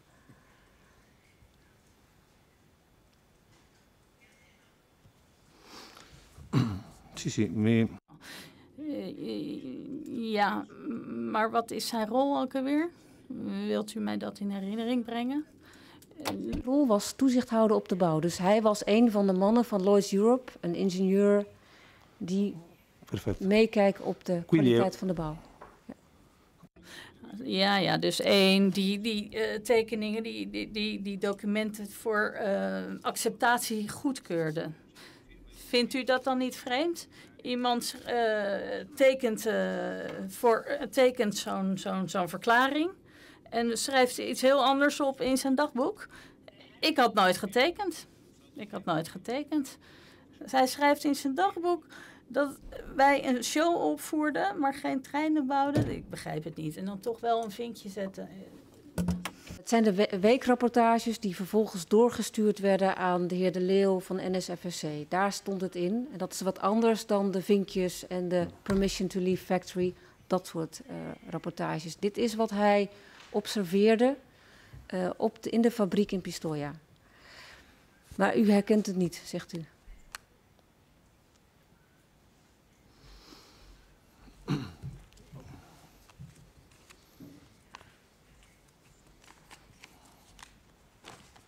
De heer Jonkers is niet degene die verklaringen tekent. No, no, capito. capito. Io... Ik snap het. Um, ja, nou, ik, ik ga hier eigenlijk maar niet verder op in. Ik, ik weet er helemaal niks van. Ik heb het niet meegemaakt uh, in de periode sinds ik er werk. Uh, um, om af te ronden, ik, kan me niet eens voorstellen dat er binnen mijn bedrijf uh, tijd is en wil is om een toneelstuk op te voeren. Echt, dat hebben we niet. Um, we gaan naar nog een, een ander iets wat gebeurde in die tijd. Uh, u was CEO bij Ansaldo Breda en u heeft een aantal reorganisaties doorgevoerd. Welke invloed hadden deze reorganisaties op het Vira-project?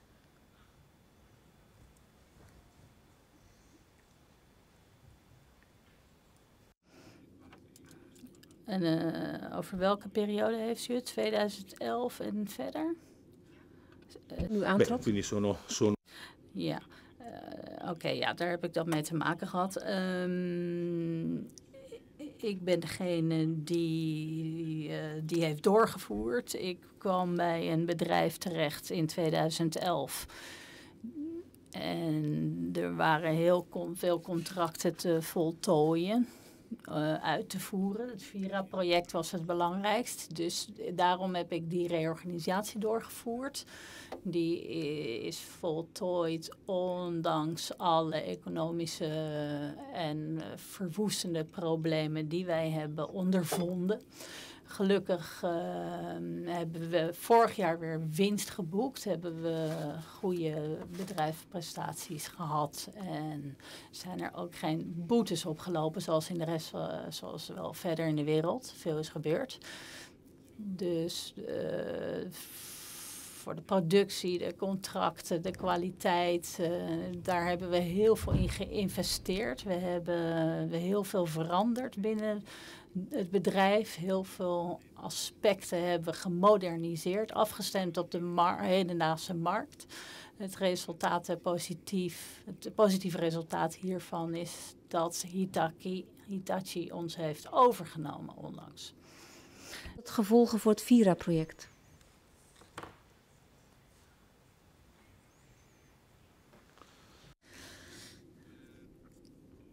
Uh, niet zoveel, want vanuit productieoogpunt was de Vira al ver vooruit, zeg maar. Het was al bijna afgerond. We, we moesten natuurlijk de treinen leveren vanaf 2010 toen moesten we heel veel treinen afleveren uh, vanaf dat moment. We moesten testritten uitvoeren. We hebben ook op de werkplaats hier reorganisaties doorgevoerd om onze capaciteit te vergroten.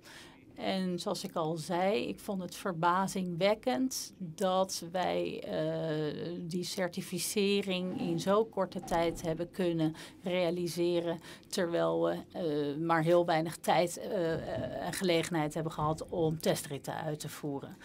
En ja, ik vind het dus eigenlijk heel mooi dat, uh, dat, ook, dat ook juist de Vira dus de vrucht heeft geplukt van deze reorganisatie. Die koopovereenkomst bevatte boeteclausules, daar had u het net al over. En bij te late levering van de treinen zou Ansaldo Breda boetes moeten betalen, tenzij de vertraging niet aan Ansaldo Breda lag. De heer Roelofs van Lloyds Europe verklaarde vorige week dat Ansaldo Breda al in 2004 probeerde de vertragingen te wijten aan externe factoren, zoals de wijziging van de spoorwegwet en ook dat nieuwe beveiligingssysteem ERTMS. Um, en dat dus die vertragingen die opliepen, dat dat misschien onterecht aan externe factoren werd verweten. Wat is daarop uw reactie?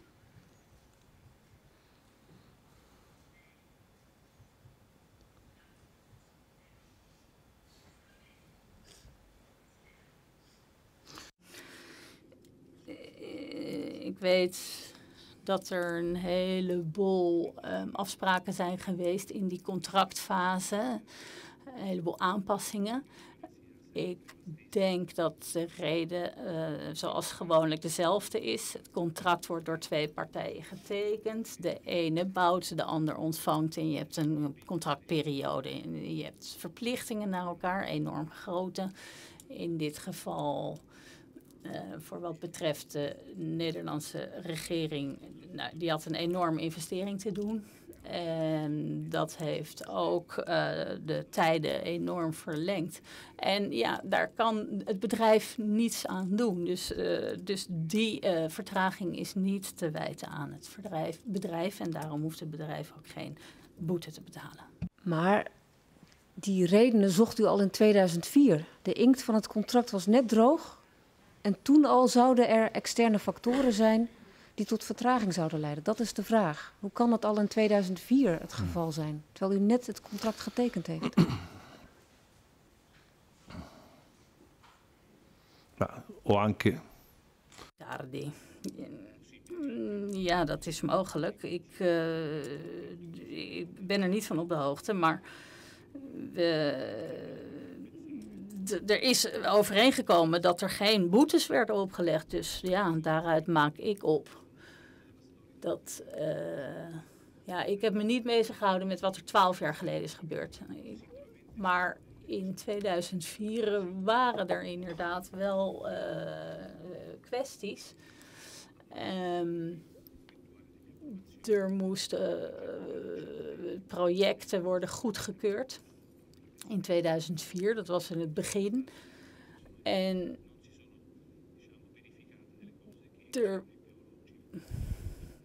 er, waren, er zijn vast dingen gebeurd waardoor alles langer ging duren. Ik kan het wel vragen aan mijn uh, bijstand. Misschien dat zij het weten. Ik heb uh, wel heel veel over gelezen, over wat er gebeurd is voordat ik bij AB kwam. Maar uh, ik dacht niet dat dit nog ter sprake zou komen. Ik had gedacht eigenlijk, had verwacht dat we het meer zouden hebben over de manier waarop alles abrupt is stopgezet. maar goed. Daar zullen we het straks over hebben. Um, mijn laatste vraag aan u is: uiteindelijk is de trein, we hebben het nu over vertraging. De trein is uiteindelijk vijf jaar vertraagd. En mijn vraag is in het algemeen, en ik hoop dat u dat weet, uh, en ook hebt besproken met uw bijstand en met uw voorgangers, hoeveel van die vertraging is nu te wijten geweest aan Ansaldo Breda?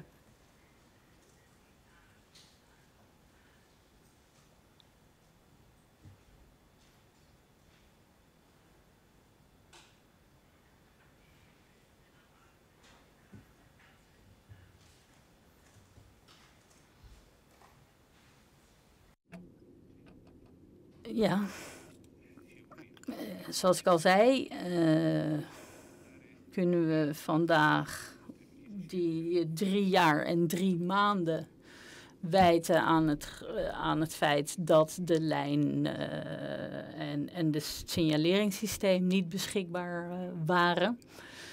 Um, en natuurlijk is de trein ook te laat geleverd.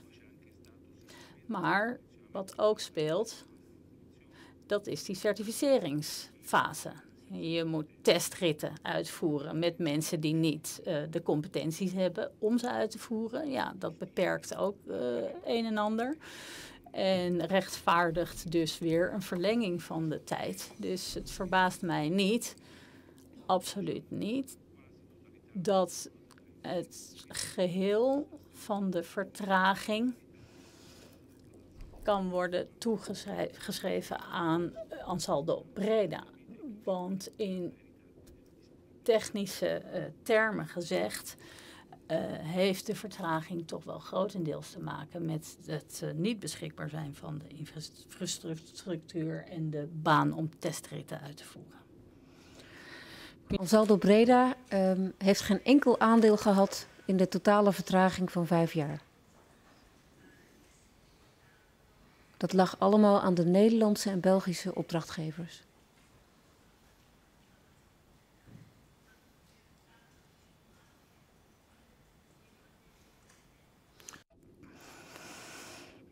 Om precies te zijn, ik, we moeten het even, ja, ik moet even helder zijn.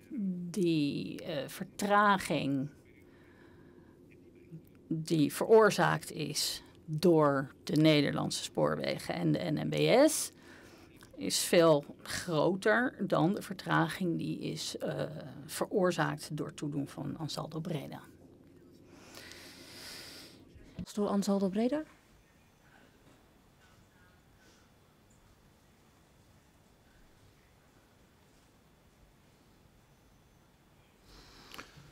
Senta, non lo so.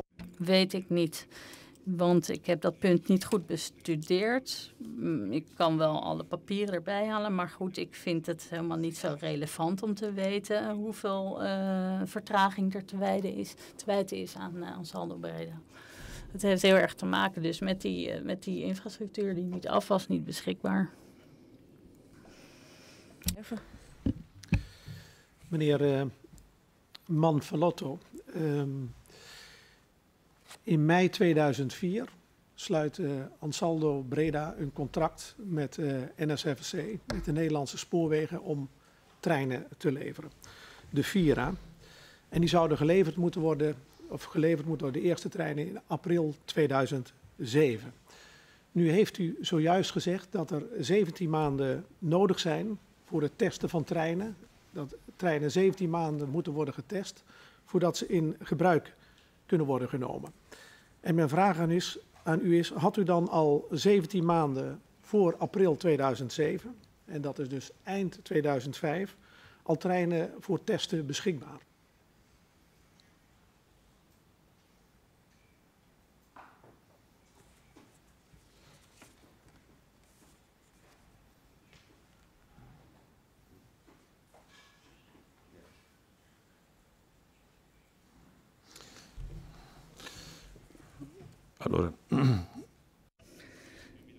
Hebben het over 2004. Toen was ik er dus nog niet. 17 maanden hebben we inderdaad gebruikt om de ETR 1000 te testen. Dat is wel een andere trein, maar goed. We hebben die uh, testtijden zeker in ogenschouw genomen. Zeker rekening mee gehouden. Waarschijnlijk niet 17 maanden, maar in het contract moest je fases opnemen.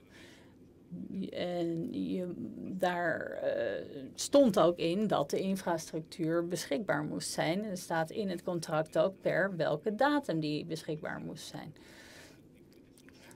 ik weet zeker dat al die data genoemd zijn in het contract. Al heb ik het contract hier niet bij me. Maar uh, de, ik denk dat er wel een, naam, een datum genoemd is waarop de infrastructuur beschikbaar moet zijn. Ik, uh, mevrouw Vos had het over een beschikbaarheidsdatum van de infrastructuur in 2006. Klopt dat?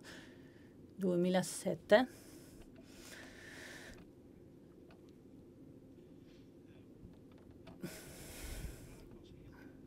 Of, uh, want in 2006 moest inderdaad de hoge snelheidslijn beschikbaar zijn voor testen.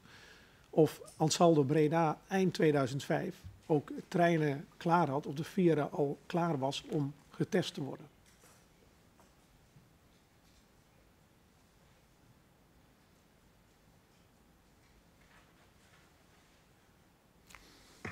Senta, no, Weet ik niet. Ik weet niet wat ze dachten in 2004. Ik veronderstel van wel.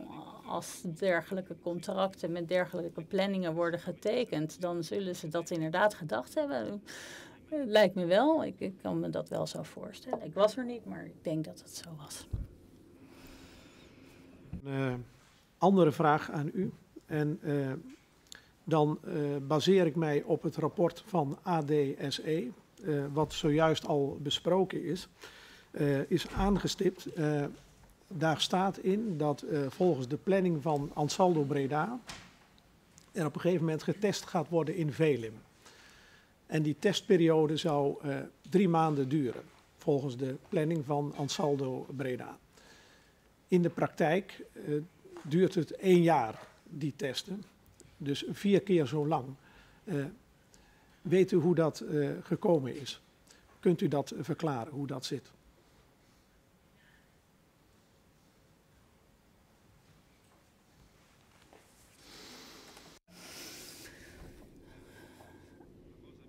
Um, wist ik niet dat er normaal gesproken een jaar nodig is. Wij zijn vier maanden in Velim geweest met die ETR 1000. Ik wist niet dat er nu een jaar eh, was gereden in Velim. Ik heb daar geen nadere informatie over. Ik weet niet waarom ze uiteindelijk hebben getest gedurende een jaar.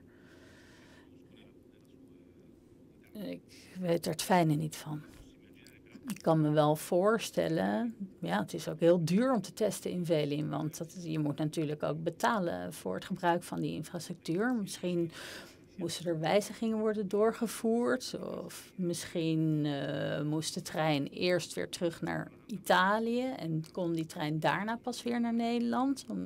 En dat ze wachten op uh, plek om die trein te kunnen uh, overbrengen. Ik hoop dat een van mijn collega's uh, hier een aantekening van maakt. Dan uh, kan die uh, daar beter op antwoorden. op dit punt, u had zojuist al, hadden we al gesproken over de vertraging van vijf jaar. En u zegt, ja, ik weet eigenlijk niet welk gedeelte nou te wijten is aan Ansaldo Breda. Maar u heeft wel een uitgesproken mening over factoren, uh, vertragende factoren die elders liggen. Uh, bijvoorbeeld bij de, degene die de uh, trein heeft gekocht, NSFSC, of vertragingen op de bouw van de hoge snelheidslijn. Dan zou u toch eens kunnen aangeven wat nou precies het aandeel is van Ansaldo Breda in de vertraging van vijf jaar. Uw eigen deel daarin.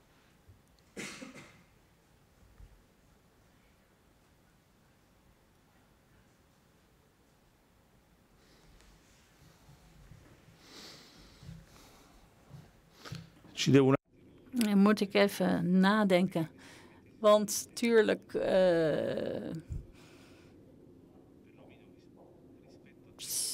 zijn er vertragingen opgelopen. Misschien ten opzichte van formele punten.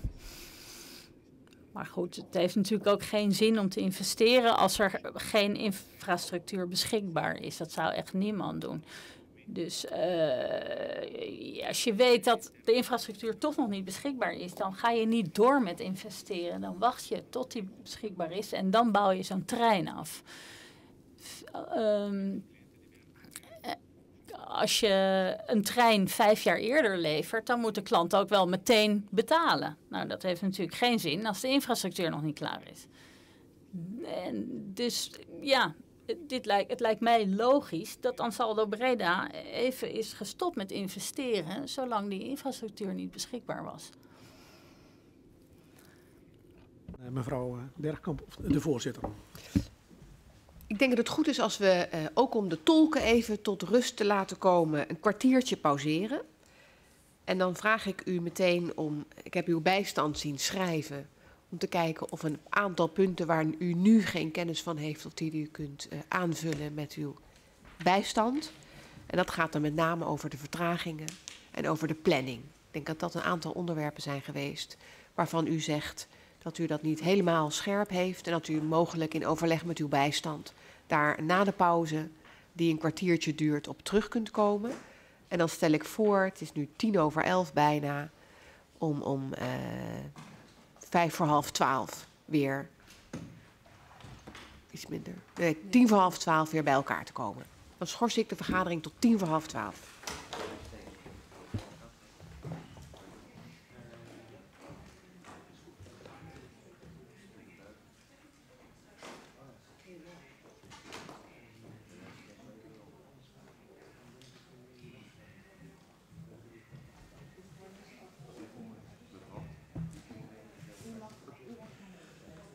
Va bene.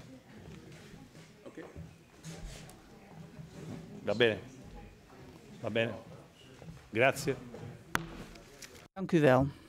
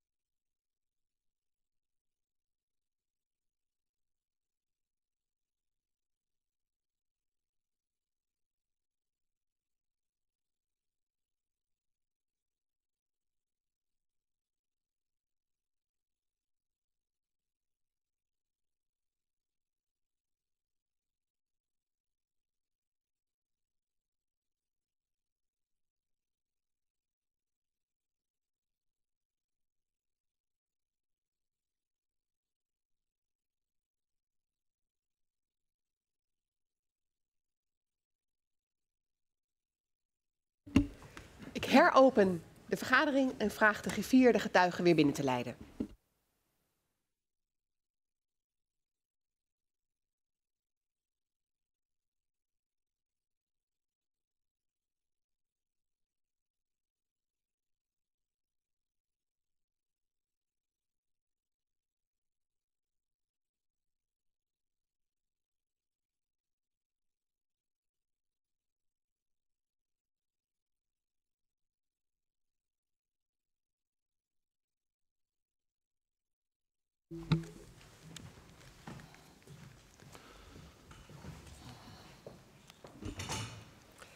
Meneer Manfalotto, wij zijn de pauze ingegaan met het verzoek of u nog aanvullende informatie zou willen geven om daar dan mee terug te komen.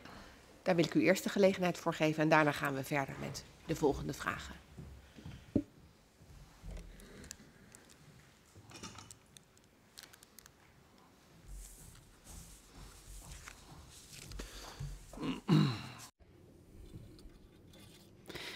Ik uh, denk dat ik dezelfde mogelijkheid zal hebben later op de andere thema's, onderwerpen nog, uh, die nog aan de orde komen. Dus over het, op het, uh, wat betreft de vertragingen, als daar nog iets is wat niet helemaal duidelijk is, dan kan ik jullie daar misschien een document over opsturen, zodat daar nog extra elementen misschien uit naar voren komen waar u wat aan heeft. Maar in ieder geval de belangrijkste uh, oorzaken zijn dat de lijnen niet beschikbaar waren. En met name door de RERTMS, de enorm lange testperiodes en de hele tijd al die vragen die gewijzigd werden van de kant van de klant door de klant. En, en dan verdere analyse ervan kan ik dan eventueel een schriftelijk document toesturen. Als dat voor u nuttig zou kunnen zijn. Duurt, maar heeft u wel een beeld gekregen van het aandeel dat Ansaldo Breda zou kunnen hebben gehad in de totale vertraging?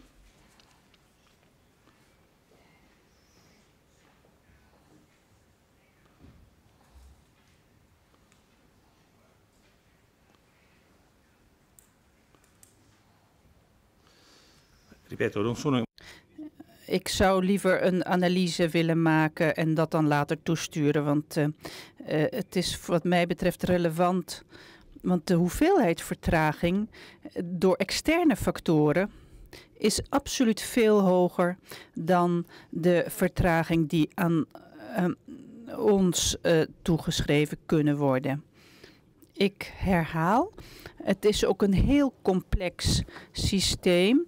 Want uh, ook in de uh, ontwerp en het bouw en zo, het heeft allemaal met elkaar te maken. Dus ik zou dan nu onzin zeggen, dat, dat wil ik niet. Ik wil graag de waarheid zeggen. Dus ik, ik geef er de voorkeur aan om dan eventueel later wat toe te zenden.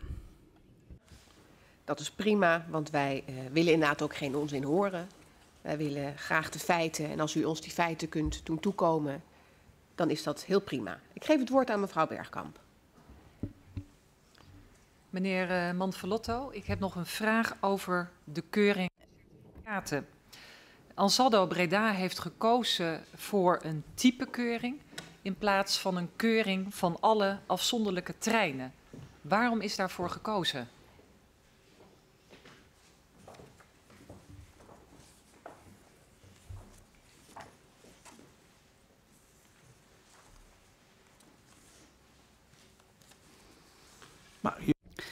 Ik geloof niet dat er vrijheid is in wat betreft de certificering. Dat is een proces dat uh, gedefinieerd is door internationale regels. Dus um, daar wordt precies in beschreven wat we moeten doen. En we kunnen dan kiezen. Uh, met welke notified body we uh, die certificering ingaan. Maar aangezien het om een systeem gaat, is het duidelijk dat er één uh, certificeerder moet zijn die alle certificaten van alle uh, verschillende delen allemaal tegelijk of samen certificeert. Um, dus dat is geen, die keuze hadden we dus voor een notified body, maar verder is dat geen keuze die we hebben gehad. Dat doet iedereen, dat moet nu eenmaal. Je moet één certificeerder hebben die alles certificeert. Begrepen. uh, dat op basis van Europese wetgeving, regelgeving, het wel mogelijk is om ervoor te kiezen als fabrikant om alle afzonderlijke treinen te keuren in plaats van alleen het type. U geeft aan uh, dat die vrijheid er niet is. Wij weten vanuit regelgeving dat die vrijheid er wel is. Uh, dus mijn vraag herhaal ik aan u. Wetende dat het gaat om een klein aantal treinen, zou het wellicht verstandig zijn geweest om de afzonderlijke treinen te keuren.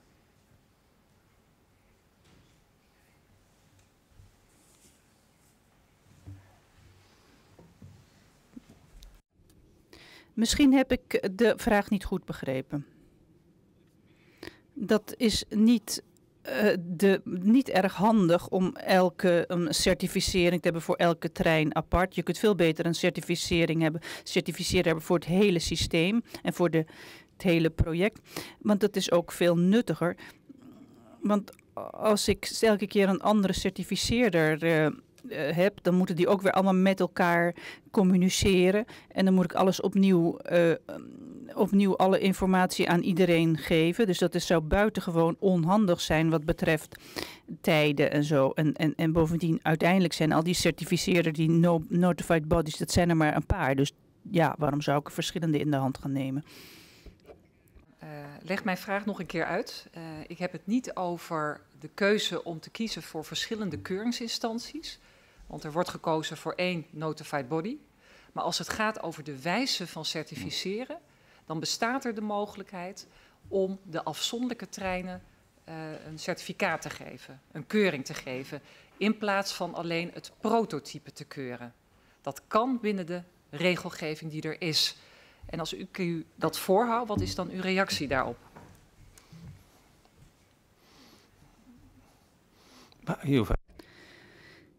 Eerlijk gezegd wist ik dit niet. Dat is niet onze gewoonte ook om dit zo te doen. Wij hebben de weg genomen die iedereen altijd neemt, voor, om de redenen dat, die ik al zei. Omdat één, één uh, gesprekspartner, dat is heel duidelijk en handig voor iedereen. En dat moet in ieder geval een notified body zijn die er, internationaal erkend is. Niet van het bestaan af, dus dan stel ik daar geen uh, vragen meer over. Uh, eind 2011 wil HSA ervaring opdoen met de treinen. Uh, en daarvoor worden er twee treinen geleend van Ansaldo Breda. Uh, maar in maart 2012 wil HSA eigenlijk verder gaan met het lenen van die treinen en de bruikleenovereenkomst verlengen. Maar Ansaldo Breda staat dat niet toe. Waarom?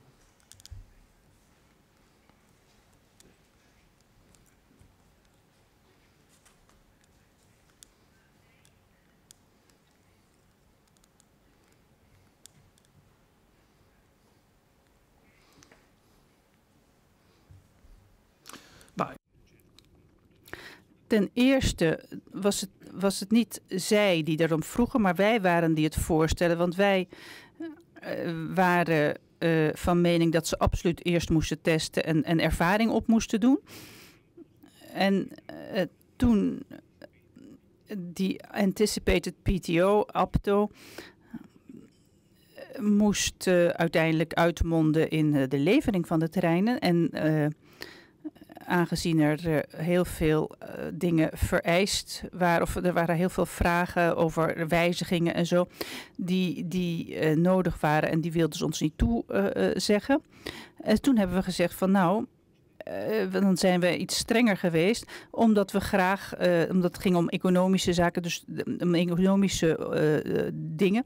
Dus dat was eigenlijk de reden reden was om geen toestemming te geven om verder te gaan met het lenen van de treinen. Economische redenen, financiële redenen, maar ook het gebrek aan informatie vanuit uh, uh, HSA over de treinen.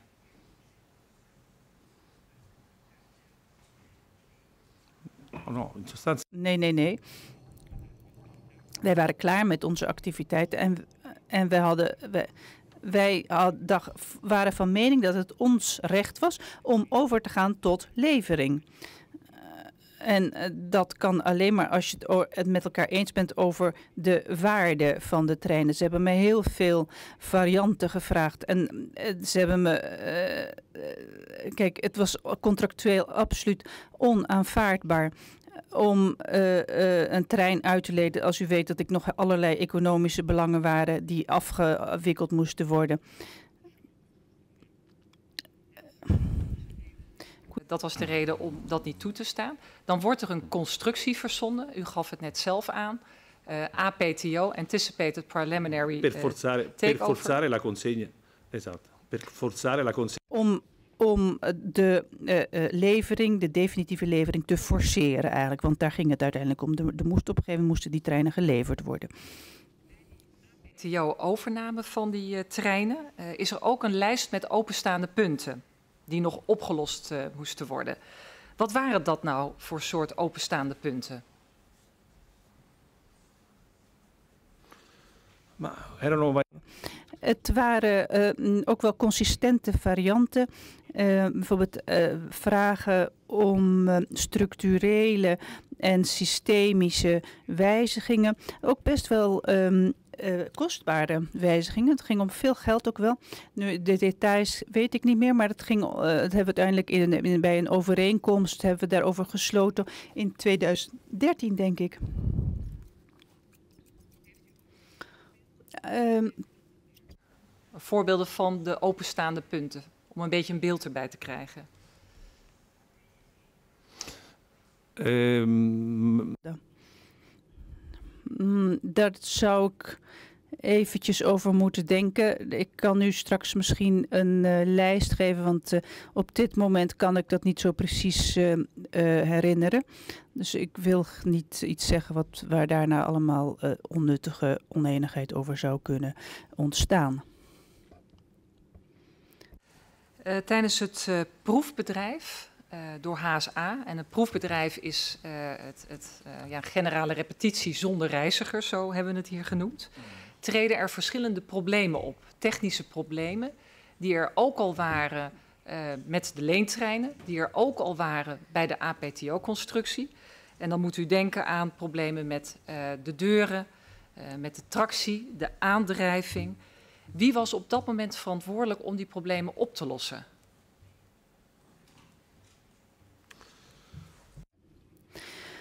Natuurlijk, alle problemen zijn natuurlijk voor de bouwer. En, uh, en dat staat ook in het contract. Dat is ook een garantieperiode die uh, de uh, bouwer verplicht tot het oplossen van deze problemen. Maar laten we eventjes verder gedetailleerder kijken. Je moet natuurlijk auto certificeringen nodig. Dus in feite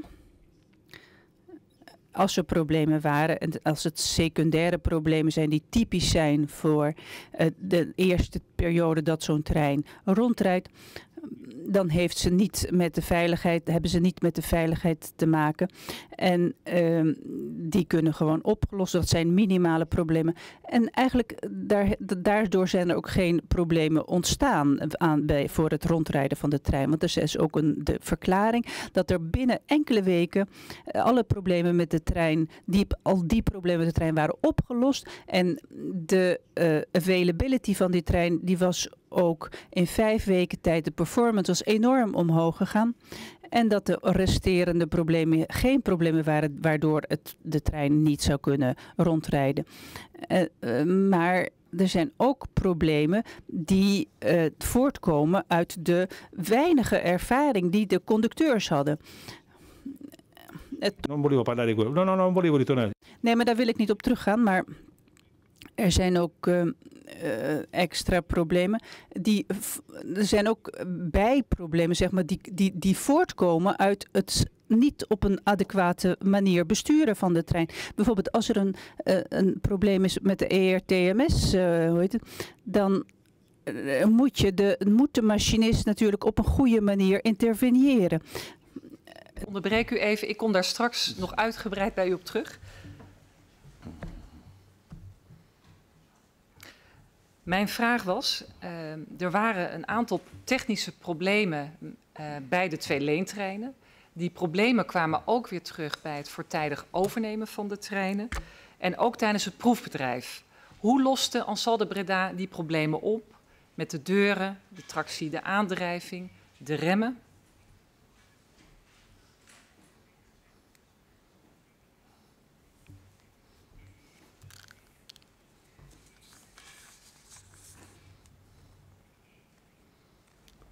Erano problemi. Dat waren punctuele problemen die snel zijn opgelost. Dat uh, blijkt ook uit de documentatie. Want deze problemen zijn allemaal binnen enkele weken opgelost. Nee, nee, nee. We gaan nog even. Vanuit de vervoerder uh, dat dit soort problemen niet snel werden opgelost. U herkent die kritiek niet.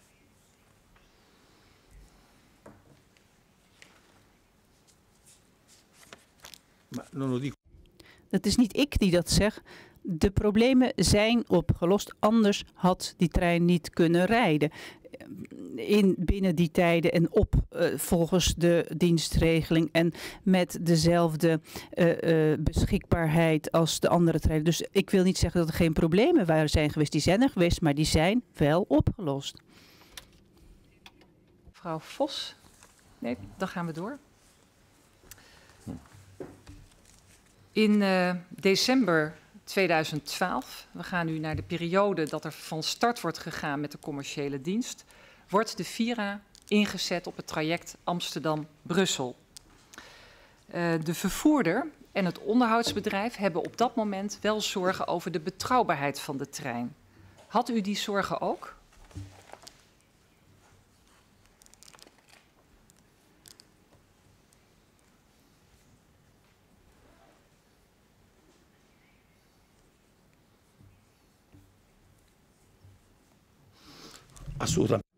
Absoluut. Niet. Want als dat zo was geweest, dan had ik zeker uh, geïnterveneerd. Want de trein reed al uh, vanaf september op het Nederlandse traject. In december begon die te rijden uh, ook in België. Technische problemen hadden we niet. Er waren wel problemen toen we de grens overgingen en uh, uh, toen we te maken kregen met het ERTMS-systeem, het Belgische ERTMS-systeem. En dat heeft toen heel veel problemen veroorzaakt. Niet alleen op de Vira, aan de Vira, maar ook aan de Thalys. Ik geloof dat in de brief van Mensfield dat ook helemaal heel duidelijk stond dat heel veel vertragingen te wijten waren aan dit probleem. Uh, geen zorgen voorafgaand aan de start van de commerciële dienst uh, Amsterdam-Brussel. U zei onlangs deze week in een uh, interview in een krant dat u eigenlijk de treinen eerst zou willen repareren voordat de NS in de dienstregeling zou nemen. Maar die uitspraak die een krant heeft overgenomen klopt dus niet?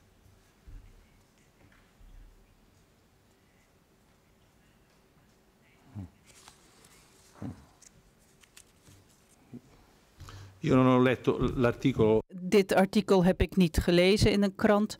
Uh, in de krant die mij geïnterviewd heeft, misschien is die niet precies geweest. Ik heb nooit gezegd uh, uh, dat ik, dat ik terreinen in het rond stuur om te rijden die, niet, die, die gerepareerd moesten worden. Er waren simpelweg fine-tuning problemen. En we hadden alle certificeringen en goedkeuringen die nodig waren dus ik had me helemaal geen zorgen gemaakt over de. Ik heb me helemaal geen zorgen gemaakt over de capaciteit en de mogelijkheden van de trein. En met de, uh, over de veiligheid van de trein, die, zoals die voorgeschreven waren, of de technische eisen die er waren. Dus ik denk dat er dan een uh, dat de interviewer of de, de, de, de journalist iets verkeerd heeft begrepen. Overigens kan ik geen Nederlands, dus ik kan ook niet precies zeggen wat daar precies stond. In ieder geval heb ik zoiets nooit gezegd. Dat zou absoluut onverantwoordelijk zijn geweest om zoiets, om, om een trein die het niet doet, uh, uh, in, in gebruik te nemen.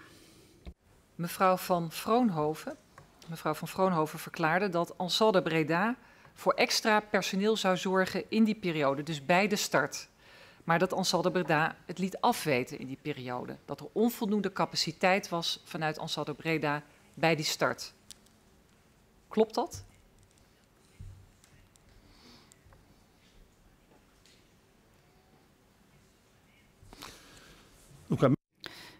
Wat ik me herinner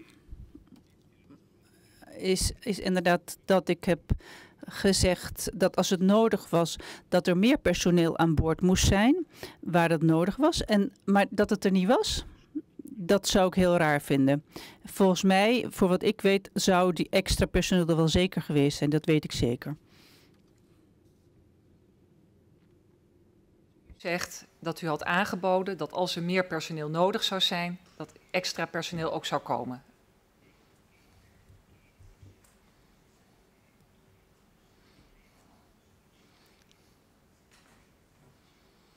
Uh. Ik moet even iets preciseren, want anders wordt het misschien straks uh, verkeerd geïnterpreteerd of op een verkeerde manier gebruikt. Wij zijn van mening, en dat dat, uh, dat je bij een testfase of een beginnende fase van commercieel gebruik, dat er altijd een technicus bij moet zijn om uh, ter assistentie van het boordpersoneel. Voor, zodat er altijd, als er iets zou gebeuren, dat er altijd een technicus aanwezig is. En dat is niet omdat er een uh, probleem zou zijn met een trein, maar dat is gewoon standaard. Dat is altijd zo, zodat er dat het boordpersoneel als het assistentie nodig zou hebben, dat er inderdaad meteen iemand aanwezig is, zodat er kleine, dat er signaleer, als er iets is, zodat alle signalen goed geïnterpreteerd kunnen worden. En helaas was er op die dag in januari dat die problemen zich voordeed, was die extra te die technicus aan boord er dus niet. HSA reed in die periode bij de start van de commerciële dienst 10 ritten per dag in plaats van 16. Er waren dus heel veel reservetreinen nodig. Vier reservetreinen op drie rijdende treinen. Dus een trein reed, ging de werkplaats in, dan, ging, uh, dan werd, moest die trein gerepareerd worden en dan werd de reservetrein ingezet. Hoe verklaart u dat er zoveel reservetreinen nodig waren?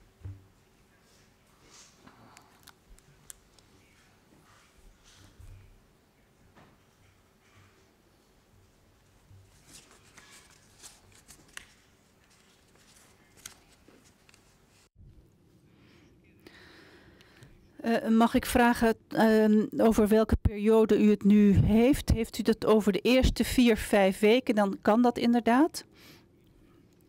Want de eerste uh, weken was er net wat fine-tuning problemen, maar na de eerste vier, vijf weken ging het, ging, was de betrouwbaarheid heel hoog. En er was alleen één ding uh, die, die inderdaad te maken had met iets wat uh, Saldo Breda verantwoordelijk zou hebben. Maar uh, zo die eerste vier, vijf weken, dat is volstrekt normaal dat er dan zoveel um, extra treinen worden ingezet of, of, of reservetreinen. Daar heb ik hele, hele boekdelen over. Dat is volstrekt normaal bij, bij, bij zo'n fase, in, bij zo'n project. Dat, dat is normaal. En daarna was dat dus niet meer zo. Ik geloof dat in uh, week 50 was de punctualiteit uh, 79 procent.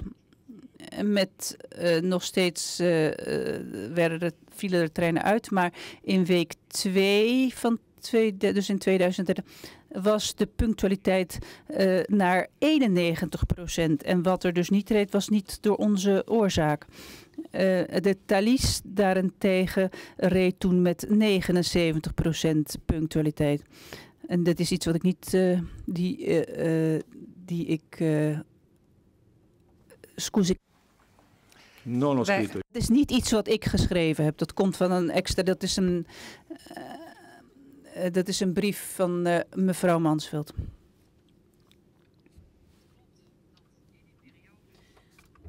Week 50 naar week 1 de punctualiteit toeneemt. En ook de uitval neemt af. Maar wat daarvoor nodig was, was een onevenredige inspanning, een ongekende inspanning van het onderhoudsbedrijf om dat voor elkaar te krijgen. Want naast deze cijfers hebben we ook gegevens van Nettrain, het onderhoudsbedrijf. En die geeft aan, vanaf week 52, een dubbele bezetting is nodig. Een maximale inspanning is daarna nodig en een onevenredige inspanning is nodig. En in januari konden ze het simpelweg niet meer aan. Als ik dat tegenover uw verhaal plaats, wat vindt u daar dan van? Dat het onderhoudsbedrijf het bijna niet aankon om de treinen, de Vira-treinen, te onderhouden.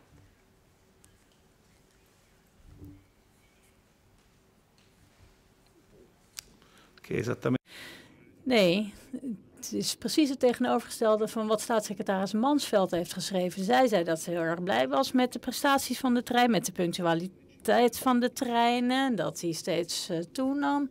En dat ze daarom uh, de treinen wilde afnemen, meer treinen, omdat ze er zo tevreden over was. En uh, dit verhaal, dit is pas de laatste weken uh, kwam dit pas naar voren terwijl ik vroeg om uh, samenwerking vanaf het allereerste moment en niet, niet pas na enkele weken. Dit is duidelijk weer een probleem van verantwoordelijkheid afschuiven ten aanzien van de, kwesties. Je kunt niet zeggen dit is een goede trein en twee jaar later uh, nee, er zijn zoveel reservetreinen nodig, hij is niet goed.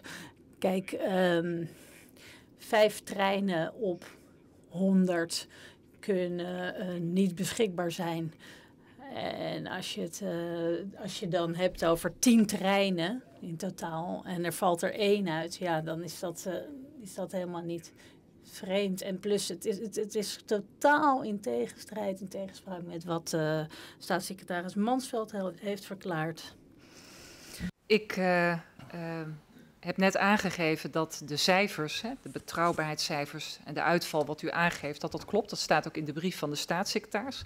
Maar wat ik aan u wil vragen, de andere kant van het verhaal, dat er op dat moment een enorme inspanning geleverd moest worden door het onderhoudsbedrijf om dat allemaal voor elkaar te krijgen. Dat begon in december met een dubbele bezetting. Daarna was een maximale bezetting nodig. En in januari lukte het helemaal niet meer. Als ik dat verhaal tegen u aanhoud, herkent u dat dan of helemaal niet? Dat dat ook in die periode speelde?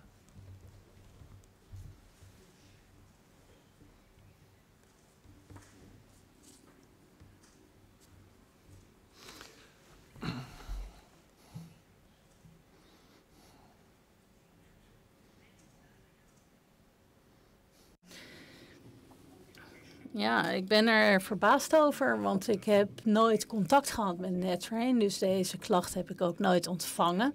Ik weet ook niet hoeveel inspanningen ze hebben moeten leveren, hoeveel mensen er aan iedere trein uh, werkten aan onderhoud. Anders had ik wel mijn mensen ook kunnen sturen. Maar uh, als ik afga op de gewone onderhoudsactiviteiten dan zie ik dat er eigenlijk niet zoveel werd gedaan aan onderhoud. Uh, zeker als je kijkt naar de manier waarop ze treinen lieten uitgaan, uh, s ochtends. Uh, ik vond het echt ongehoord hoe ze die treinen uit lieten gaan iedere ochtend. Ik vond dat er heel weinig onderhoud werd gepleegd. Uh, de treinen van de Nederlandse spoorwegen rijden rond zonder dat uh, de onderhoudseisen worden nageleefd, nationaal en internationaal. Sorry, dit is hele felle kritiek die ik uit, maar dat is wat ik heb geconstateerd. Had u eind december 2012 dus de indruk dat de NS tevreden was over de eerste prestaties van de Vira op het traject Amsterdam-Brussel?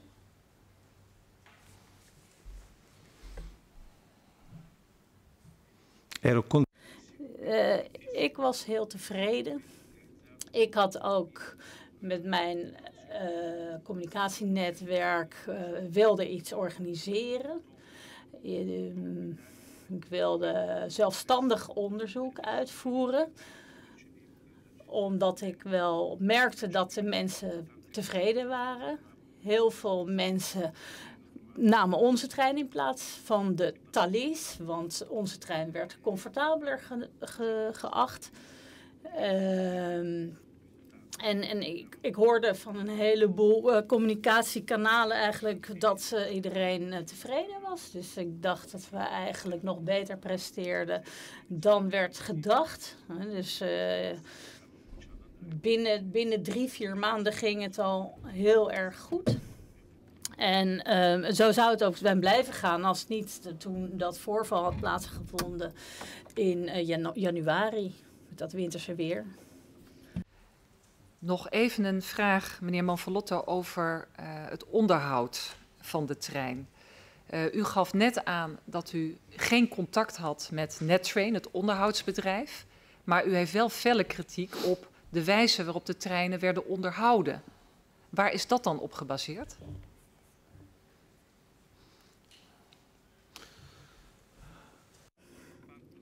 op het feit dat ik nadat wij, hè, na dat winterincident in januari, dat u kent, wij een taskforce hebben opgezet om een oplossing te vinden voor het probleem. Omdat ons is gevraagd om die treinen weer te laten rondrijden na uh, alle gebreken, ook de kleinste, te hebben verholpen. En we wilden, dat waren ook dus de details die niet maakten dat de trein niet kon rijden of zo, maar gewoon kleine dingetjes. Um, die treinen waren toen al onderhouden gedurende enige tijd door NetTrain. En ik zag dat er echt heel weinig onderhoud was. Uh, bijna niet heel. Uh, dan hebben we het over die accu's bijvoorbeeld. Hè. Als jij geen water uh, aanvult, ja, dan kan je wel raden wat er gebeurt. Ja, dan staat een trein om zoveel dagen stil. Een trein moet, hè, alle bewegende delen van een trein moeten onderhouden worden. Je kunt een trein ook niet een paar dagen stil laten staan. Dus uh, wij zijn uh, de, de, staat van die treinen ook gaan inspecteren op een gegeven moment. Toen heb ik dat gezien. Dus uw oordeel over het onderhoud is gebaseerd op de ervaringen uh, na de sneeuw en de problemen die ontstonden toen er naar de trein werd gekeken. Uh, maar als we even teruggaan naar december 2012, uh, dan zegt u, u was tevreden hoe de treinen het deden, maar u had ook de indruk dat de reizigers tevreden waren en ook dat de NS tevreden was.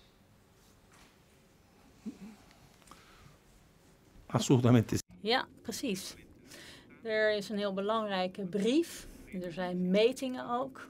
En het zijn objectieve gegevens over aangaande personen die die trein namen, die de Vira namen. En die kwamen grotendeels uit de Thalys. Die waren eigenlijk overgestapt van de Thalys op de Vira. Nou. Uh, meneer Manfalotto, dan gaan we naar uh, de periode uh, waarin de winterproblemen gaan, gaan spelen. U heeft daar net al het een en ander over gezegd. half januari 2013 gaat het sneeuwen. In de koopovereenkomst staat een bepaling waarin staat dat de Vira in alle Nederlandse weersomstandigheden moet kunnen functioneren. Wat betekent die bepaling voor u?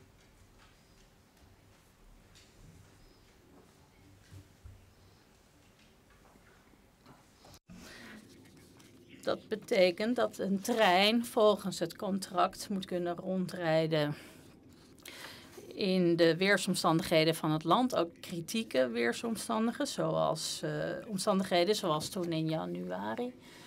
En dat daar dus nationale voorschriften en internationale voorschriften voor moeten worden nageleefd. En dat er dus ook op een bepaalde manier, dat die trein op een bepaalde manier moet worden bestuurd.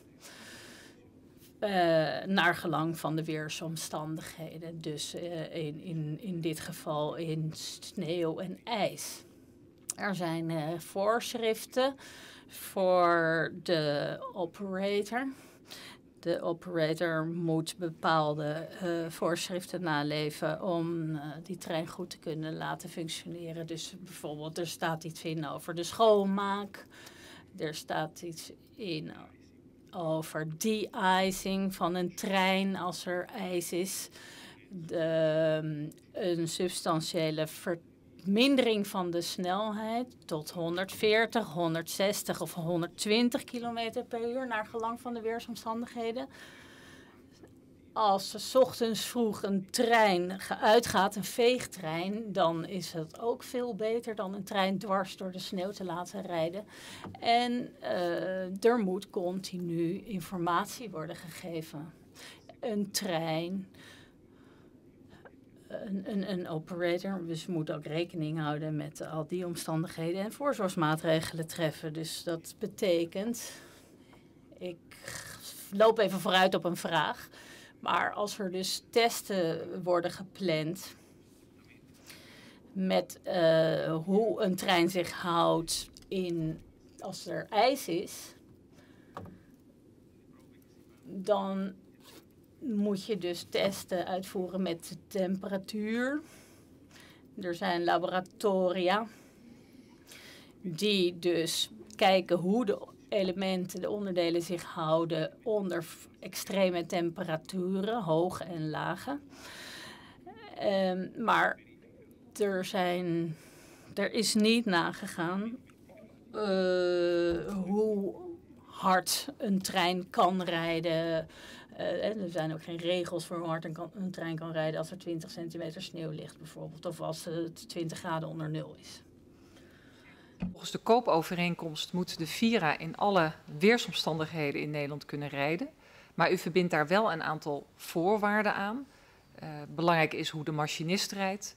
Belangrijk is het, het onderhoud, de icing. Het is belangrijk om te letten op de snelheid. He, dus u koppelt daar een aantal voorwaarden aan. Zijn dat nou ook voorwaarden die in de handleiding staan bij de trein? Of zijn het meer algemene dingen waar je als operator op moet letten?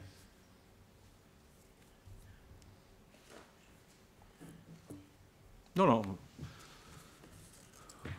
No, no, no. Nee, uh, beide. Je hebt geschreven regels, algemeen geldende regels. Je hebt uh, voorschriften. Alle spoorwegen gebruiken die. Sommige zijn anders per land, maar er zijn ook algemene. Je hebt een verantwoordelijke voor de infrastructuur. En natuurlijk, de NS is uh, verantwoordelijk voor de infrastructuur. En uh, de operator die heeft zo ook zijn eigen verantwoordelijkheden. Je hebt landen met extreme weersomstandigheden, maar ook minder extreme weersomstandigheden. Die regels hebben voor uh, de verwarming van de rails, als het heel ijs is, heel koud is bijvoorbeeld. Staan er problemen met de Vira tijdens de, de winterperiode, de sneeuwperiode?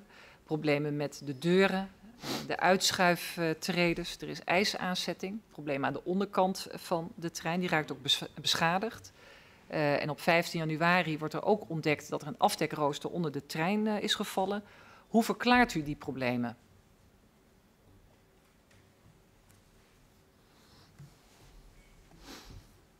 Allora, mettiamo... Laten we even orde scheppen in uh, het geheel. Laten we even beginnen bij het feit dat als het koud is, er ijs ontstaat. En een trein kan niet alleen ijs bestrijden. Dus uh, er moet uh, aan de-icing worden gedaan. Je kunt ijsvorming hebben op een treden. En ijs is natuurlijk heel hard, dus dan kan zo'n zo'n treedje niet meer uitschuiven. Dat heeft allemaal te maken dus met, met brokken ijs die dat blokkeren. Nou, dan het afdekrooster, daar hebben we het vaak over gehad. Uh, dan hebben we het meteen over het uh, voorval dat direct heeft geleid tot de verscheuring van het contract. Drie dagen is dit gebeurd na die brief van staatssecretaris Mansveld, die zo belangrijk is heel vroeg in de ochtend is de trein gaan rijden die dag. Uh, ongelooflijk, maar waar. Er was niet aan die icing gedaan. Andere voorschriften, voorzorgsmaatregelen waren ook niet genomen of uitgevoerd. Wel op andere treinen. treinen. We hebben daar bewijsstukken van. Bijvoorbeeld bij uh, de Thalys is dat gebeurd. Die icing heeft plaatsgevonden waarschijnlijk. Maar in ieder geval is de Thalys lang, langzamer gaan rijden. Maar deze trein, de Vira, die bleef um, maar 250 km per uur rijden.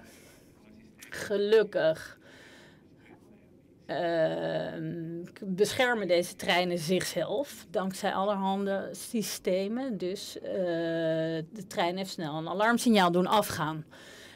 Dat alarmsignaal heeft geleid tot de automatische uh, stilzetting van de trein. Dat is wel heel belangrijk om te weten. Dat gebeurt uitsluitend en alleen dankzij het feit dat het veiligheidssysteem merkt dat de uh, wielen glijden en slippen vanwege ijs. op de rails. Dus die trein kan dan zichzelf afremmen. De machinist had daar natuurlijk akte van moeten nemen, had de trein rustig moeten herstarten en had contact moeten opnemen met de centrale om instructies te ontvangen. Maar de machinist deed dat niet.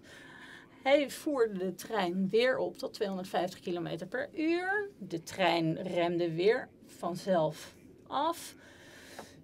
De machinist uh, kreeg een waarschuwing van de centrale. Een derde keer is hetzelfde gebeurd. Dus weer is de trein vanzelf langzamer gaan rijden. Dit kunt u allemaal halen uit de zwarte doos. Dus er zijn allemaal bewijsstukken van. Dus die trein heeft zichzelf eigenlijk afgezet tegen de manier waarop de machinist hem bestuurde. Dit is ontzettend gevaarlijk, ontzettend onverantwoord. En dat is natuurlijk ook de oorzaak van het losraken van het afdekkenrooster. Vanwege dus die ijsklompen. Uh, ijsklompen die de hele tijd tegen de onderkant uh, botsen.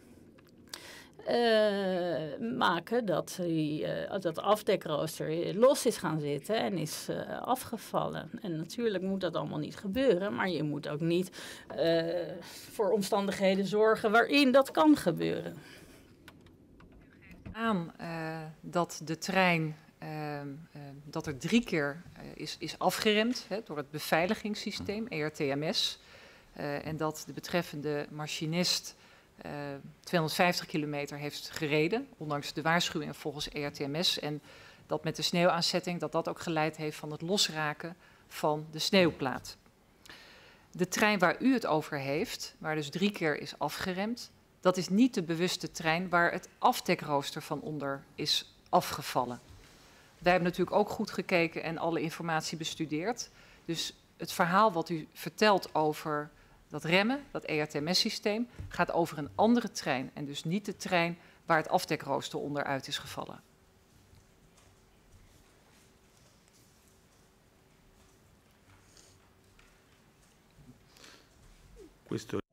Ja, dit was een, een, voorbeeld van een fenomeen dat we hebben opgetekend. Uh, maar het fenomeen van ijs, dat zich heeft opgehoopt in die omstandigheden maakte dat er moest worden vertraagd.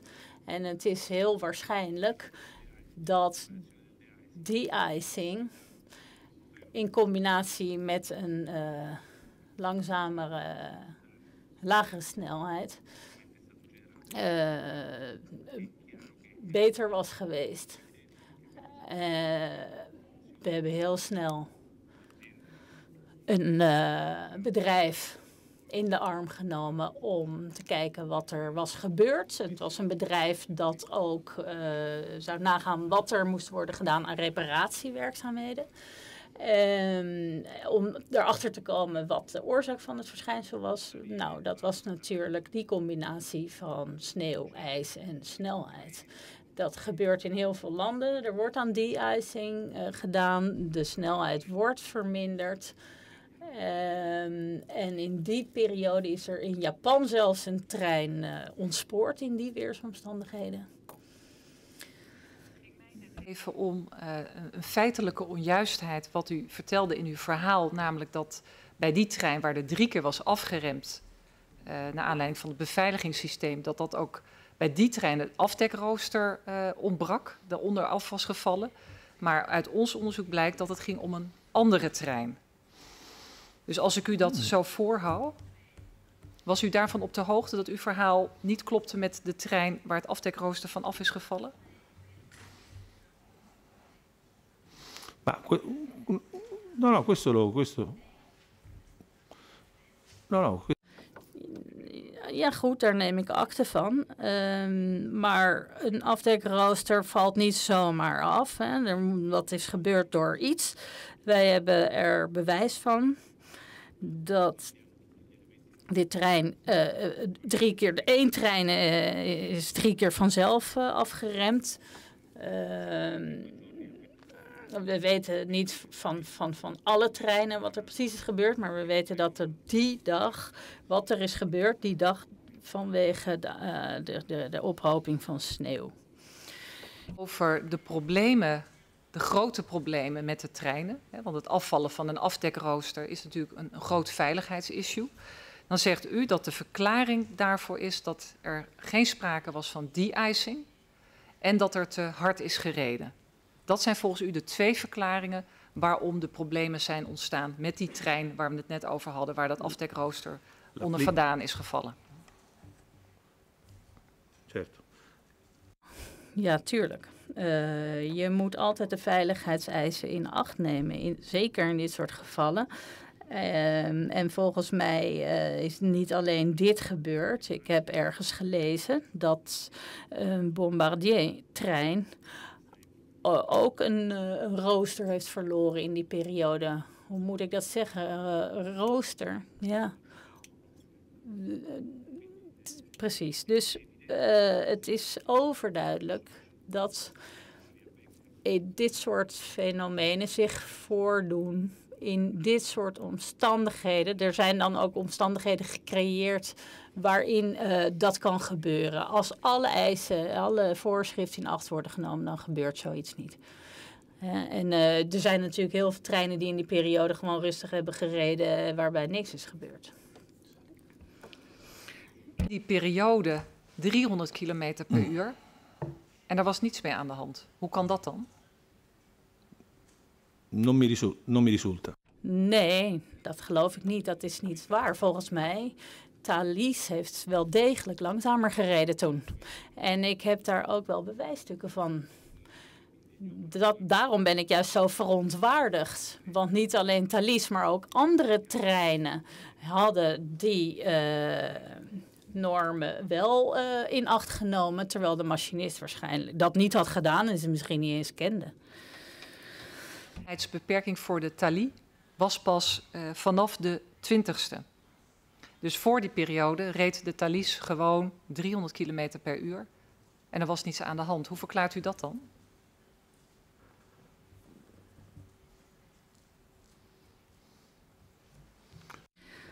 Ik herhaal dat mij het tegenovergestelde blijkt. Uh, er zijn gegevens. Ik vind het ook heel raar dat er een datum is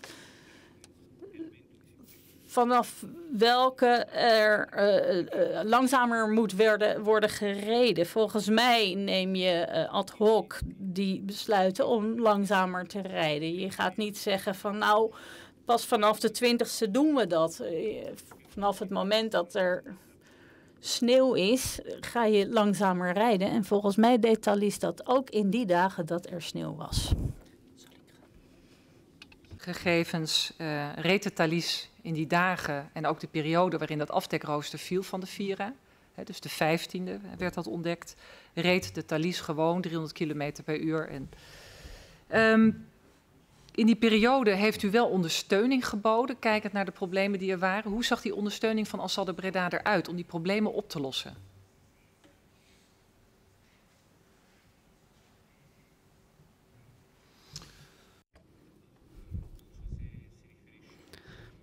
Ik weet niet uh, uh, of dit te maken heeft met wat ik nu ga zeggen, maar uh, dat incident was er dus. Toen hebben we binnen een week hebben we aangeboden om te kijken wat er is gebeurd en wat de oorzaken waren voor dit incident. Daar hebben we ook iemand voor ingehuurd. En daar hebben we de uitslagen van ook laten weten. Die hebben ter kennis gegeven.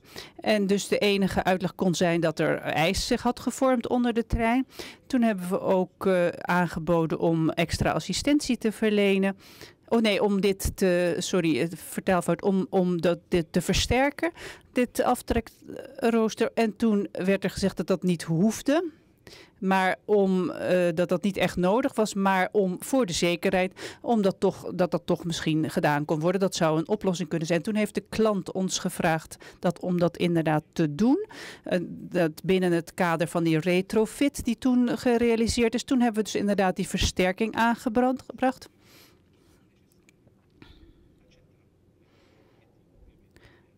En dat hebben we toen, uiteraard hebben we dat geaccepteerd. En toen hebben we dat inderdaad uitgevoerd.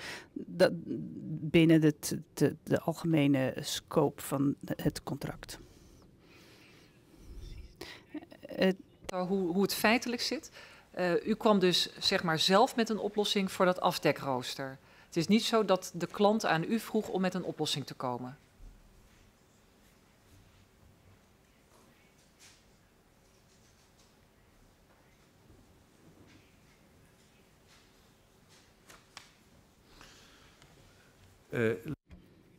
Ik herhaal, wij hebben gebruikt, geprobeerd om met dit onderzoek te begrijpen wat er was gebeurd, wat de oorzaak was. We hebben toen aan onze consulent gevraagd, wat kunnen we doen om dit op te lossen? Want stel dat het nog eens een keer zou sneeuwen en men zou zo hard rijden. Toen hebben we dus gezegd om dit, uh, hebben ons aangeraden om dit te versterken. Hoewel het niet noodzakelijk was. De klant heeft toen aan eh, die heeft dus gevraagd om dat inderdaad te doen. Dus wij hebben toen gezegd, oké, uh, dan doen we dat. Samen met het fine-tuning wat we nog moesten doen. De, en de andere herstelwerkzaamheden die ook nog zouden gebeuren, die we al hadden afgesproken. Onder de garantieperiode, of onder de, sorry, onder de garantie van de trein, of was het iets wat daar buiten viel?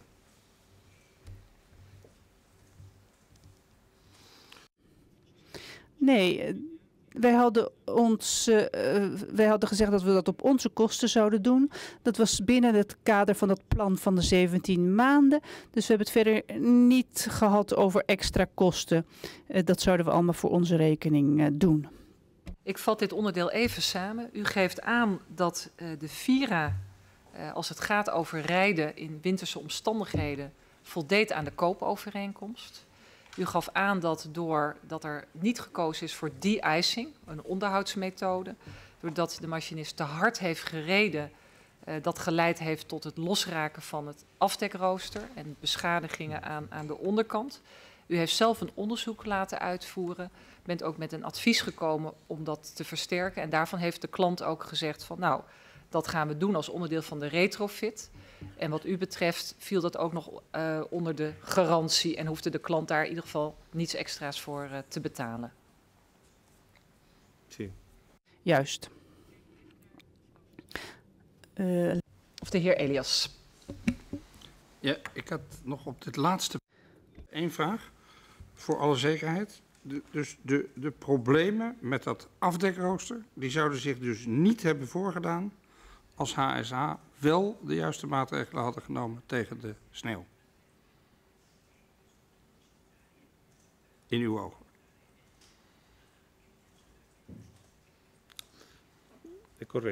Dat is helemaal correct. Als ze de regels had in acht genomen uh, die je moet nemen in geval van sneeuw, dan was er helemaal niets gebeurd. En dat moet dan ook verklaren waarom die Thalys op de 15e en de 16e januari gewoon wel 300 kilometer kon rijden. In uw ogen. Nou, nee, volgens mij ging de Thalys helemaal niet 300 km per uur. ik heb echt informatie, die kan ik u voorleggen, dat de, 300, eh, dat de Thalys wel degelijk om in, uh, la, uh, met een lagere snelheid reed. Ik weet helemaal niets van, geloof ik niets van, dat, het, dat de Thalys wel met 300 km per uur door de sneeuw race. Bij mijn weten was pas vanaf 22 uh, januari uh, de situatie ingetreden dat de Thalys langzamer ging rijden. E quello che ho sentito dat heb ik nu gehoord van u. Maar uh, voor wat ik weet, voor zover ik weet, uh, ging de Thalys al meteen toen het sneeuwde met een lagere snelheid. en ik zal daar nog eens even gaan kijken naar de bron waaruit ik dit, mijn informatie heb gehaald. maar dat waren wel degelijk zeer betrouwbare gegevens en informatie. Want ik ben dus wel benieuwd hoe dat kan anders ik, zou ik heb daar nog, nog niet van gehoord dat Thalys wel met 300 km per uur reed. In die condities, die weersomstandigheden. U zei daarnet tegen collega Vos, en u zei er zelf bij, dat is hele felle kritiek op de NS. Um, dat de NS treinen laat rondrijden in Nederland die niet voldoen aan de nationale en internationale normen. Kunt u dat nog uh, van feiten voorzien?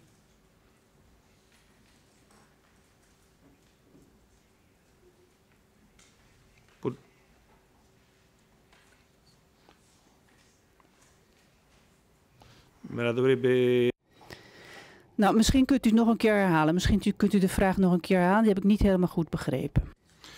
Ehm, in het voorgedeelte met collega Vos daarnet, net voor, eh, de, eh, de, voordat we het over de winterproblemen hadden, zei u, en u zei daarbij, dat is hele felle kritiek die ik nu uit op de NS, eh, dat heb ik ook even opgeschreven.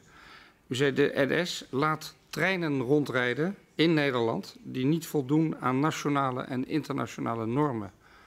En vandaar dat ik u vraag, kunt u dat met feiten onderbouwen?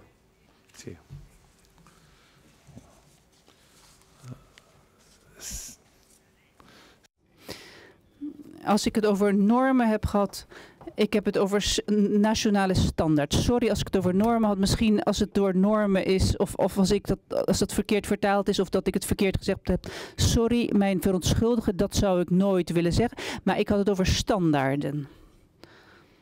Eh, Het gaat over objectieve eh, ge- gegevens. Ik ken de standaarden, eh, de internationale standaarden. En ik heb gezien dat de standaarden eh, die in Nederland eh, eh, eh, gebruikt worden, dat die absoluut niet op het niveau zijn van de andere Europese landen. Ik zal even wachten voor de vertaling. Dus de Nederlandse standaard ligt lager dan wat in Europa gebruikelijk is. Che si rileva, sì, sì, sì. Juist, juist. Althans in de landen die eh, eh, eh, landen zijn waarmee je Nederland zou kunnen vergelijken. Dan gaan we via de voorzitter of gaan we naar Van Bergkamp. Signor Manfellotto, il 17 gennaio 2013. Op 17 januari 2013 besloot de NS om eh, de Vira van het spoor te halen. Kwam dat besluit onverwachts voor u?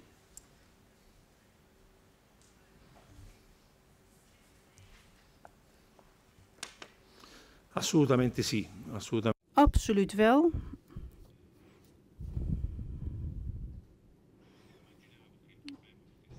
Want ik dacht dat het probleem eh, op de goede manier gewaardeerd en, en ingeschat kon worden.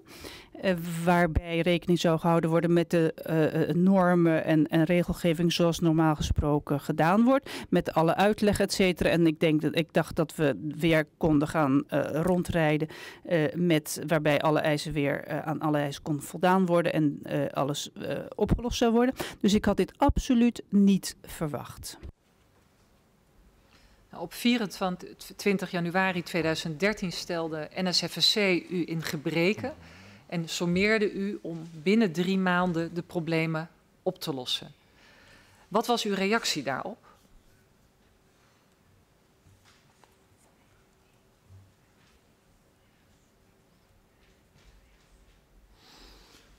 Ma innanzitutto presi atto che eh, Ten eerste heb ik akte genomen van het feit dat alles eerder was afgesproken. En namelijk dat we hadden afgesproken dat alle problemen die er nog waren, eh, dat die niet binnen de garantie afgesproken eh, eh, hersteld zouden worden. Maar ze wilden dus dat alle treinen gefine-tuned zouden worden en helemaal gecheckt zouden worden. Dus mijn reactie was zo snel mogelijk een oplossing te vinden die. ehm, en v- zodat ik zou weten, van, nou ja, zodat we konden afspreken wanneer dat gedaan kon worden, zodat de treinen ook weer zo snel mogelijk in gebruik zouden genomen kunnen worden. Dit eh, werd ook ehm, afgesproken met eh, de NS.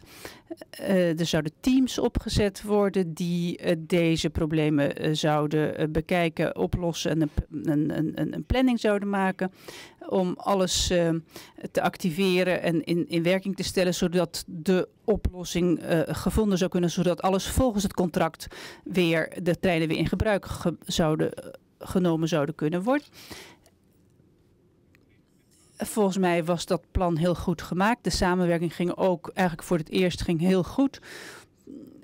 Eh, we hadden ook voor het eerst eigenlijk te maken met teams die zeer competent waren en eh, actief. Ehm, en met hele goede technici ook, technische aanpak.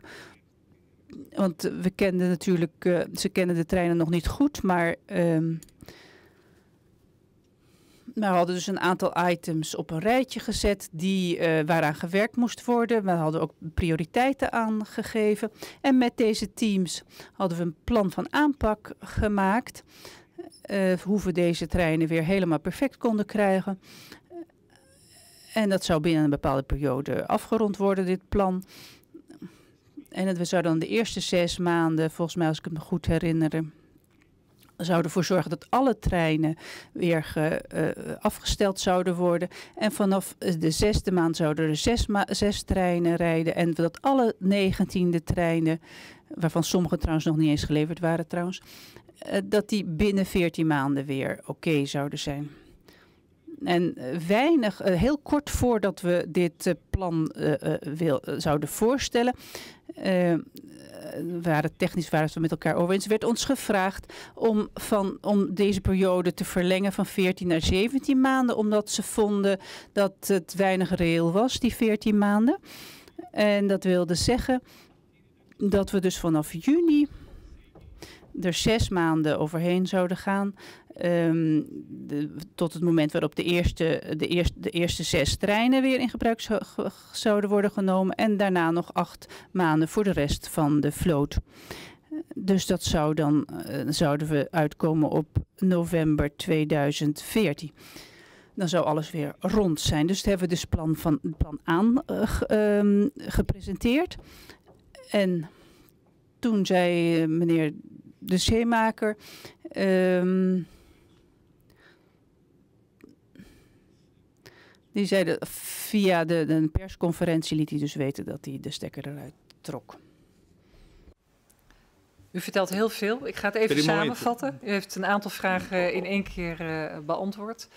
Um, het moment uh, dat de NS besloot om te stoppen met de Vira was voor u echt onverwachts. Um, in die periode bent u gaan samenwerken om met een oplossing te komen. En u typeert die periode tussen januari en mei ook als uh, een betere periode qua samenwerking, waarin ook mensen gingen werken met, met meer deskundigheid. Um, u kwam met een plan om ongeveer binnen 14 maanden uh, de problemen met de treinen op te lossen. Dus voor alle treinen, even voor het gemak vat ik dat samen. Maar de NS gaf aan van nou, dat is misschien niet realistisch, we maken er 17 uh, maanden van. Klopt mijn samenvatting tot, tot zover?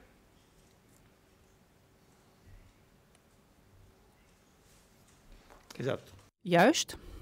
In die 17 maanden ook het opnieuw uh, certificeren en toelaten van de treinen? Of was dat exclusief?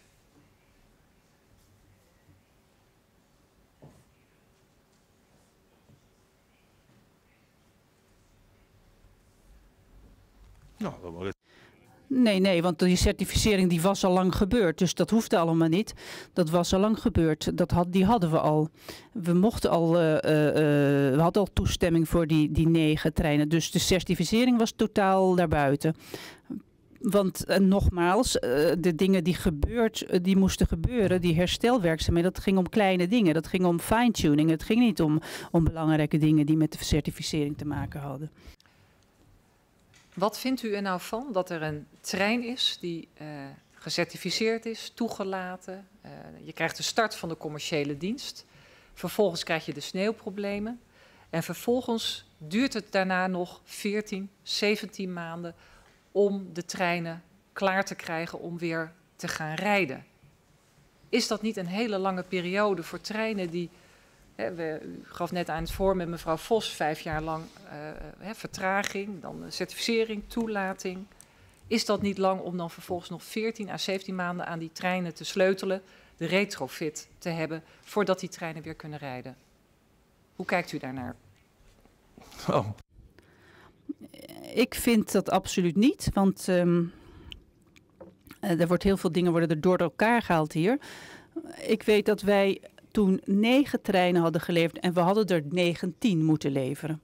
Dus er was sowieso, uh, er waren ook nog sowieso nog de tijd nodig dat we de overige treinen zouden leveren. die er wel waren, maar die moesten nog uh, uh, alle certificaties, specifieke certificatie moesten gedaan worden, moesten door de klant gecontroleerd worden, et cetera.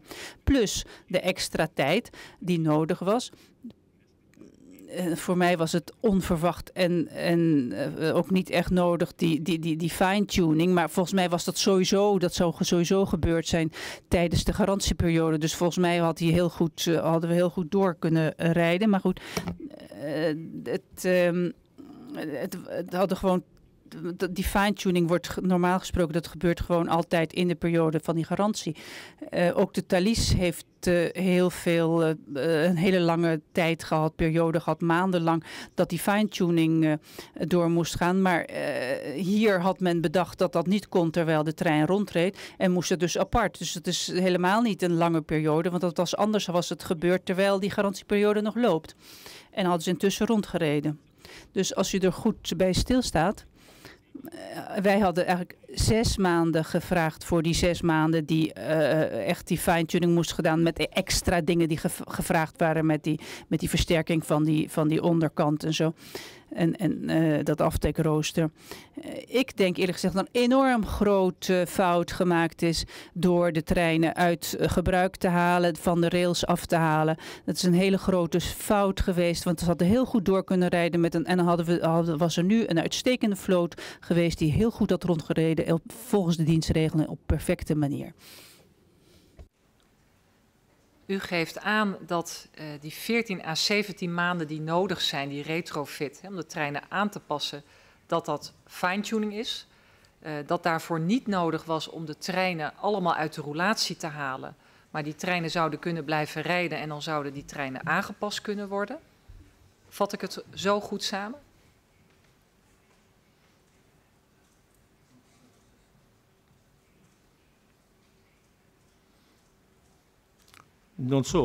Niet alleen, maar ik wil er nog wat bij zeggen. Het is helemaal correct wat u zegt. En dat is ook wat de NS eh, dacht, want staatssecretaris Mansveld die zei dat ook. Die zei ook dat al deze dingen, die, de dingen die er nog niet uh, die nog gebeuren moeten, dat kan heel goed uh, uh, in de periode dat de treinen rondrijden. Dat schrijft ze in haar brief van 14 januari. Dus dat was, al die problemen waren al geïndividueerd, die waren al vastgesteld. Er was al een, een oplossing en een termijn voor ge, ge, ge, gepland. Dus het is heel raar dat we, en nu zitten we hier over te praten op een veel vreselijkere situatie. Want het enige resultaat is dat er een enorme investering is gedaan. Die nergens goed voor uh, is geweest. En dat is doodzonde, want intussen hebben de Nederlandse en Belgische burgers geen goede hoge snelheidstrein waarmee ze kunnen rijden. Quindi lei dice che se uno ha bisogno di 14 o 17 mesi. Ja, want dat is natuurlijk een vraag van ons ook als commissie. Uh, dat na zo'n lange periode je toch nog wat met die treinen moet doen. Zegt u daarmee ook dat die treinen eigenlijk niet goed genoeg nog waren als je 14 à 17 maanden nog moet fine-tunen en retrofit moet hebben?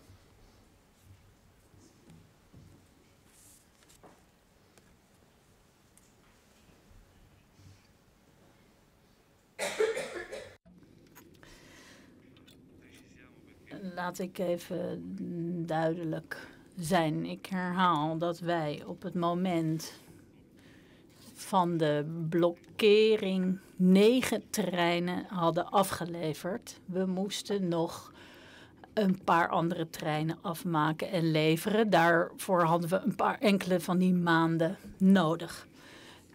We hadden natuurlijk ook niet de ruimte om 16 treinen tegelijkertijd af te maken. Dus we moesten ze om beurten afmaken, repareren. En uh, ik wil er wel bij vermelden dat die treinen gewoon goed punctueel uh, rondreden.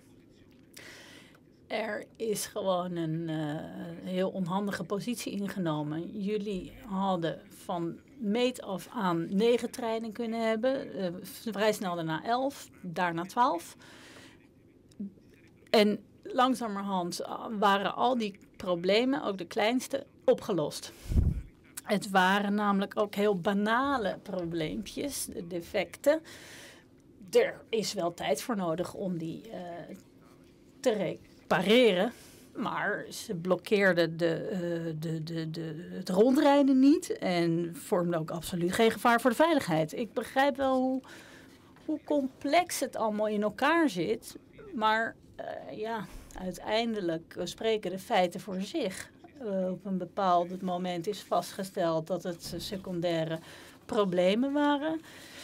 Maar eh, de dag daarna uh, vond men het uh, zodanig grote problemen dat de boel moest worden stilgezet. Hoe reageerde de NS en de NBS op uw verbeterplan? Waren ze daar tevreden over?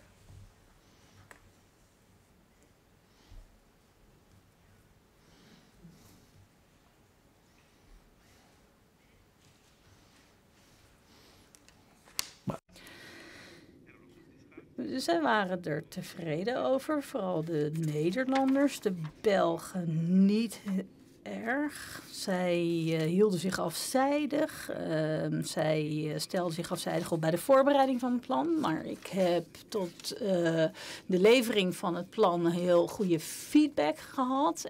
zij hebben gezegd, de Nederlanders, neem nou nog twee, drie maanden extra. Ehm, dus ja, daarom was ik er eigenlijk zeker van dat we doorgingen. Ik hoopte dat ik uh, de klant ervan kon overtuigen dat hij de treinen nog eerder in dienst zou nemen. Uh, ik snapte wel dat het uh, emotionele effect van het incident uh, vers in het geheugen lag. Maar ik dacht wel dat wij erin zouden slagen om ze ervan te overtuigen dat het, dat het beter was om door te gaan. En uh, nou ja, dat het dus best snel allemaal kon worden verholpen. En, en we 16 perfecte treinen konden afleveren. Wie hoorde u uh, dat uh, men tevreden was over het plan? Was dat de heer De Leeuw, de projectleider? Of waren er nog andere mensen die uiten dat ze tevreden waren over dat verbeterplan?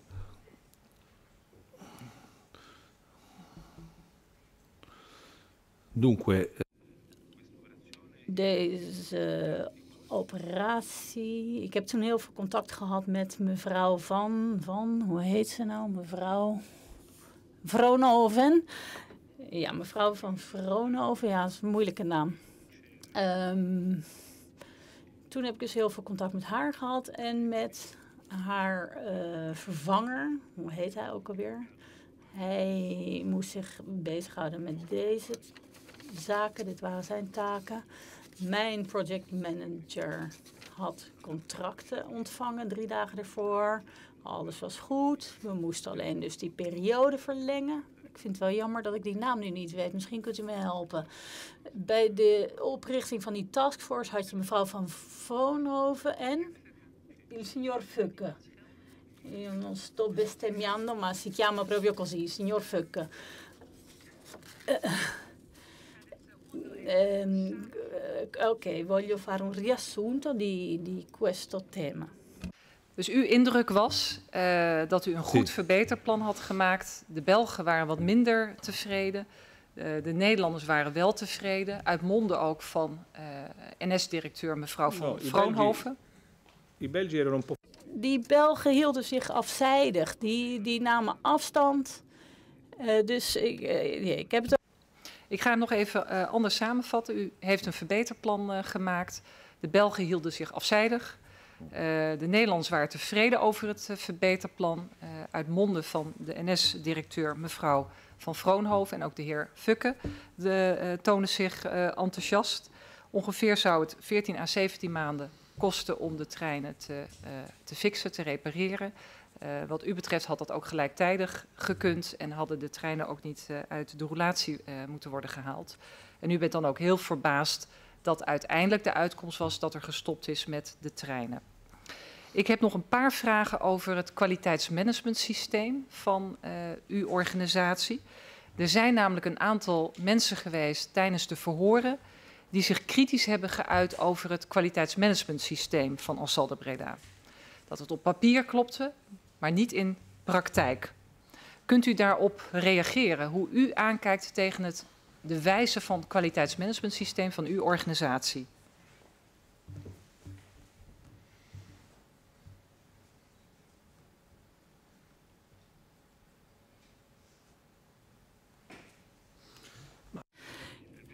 voor mij is kwaliteit heel belangrijk. Je hebt daar een procedure voor om die te managen. Die procedure dat uh, houdt niet in een vergadering, maar dat houdt een uh, rapportage in.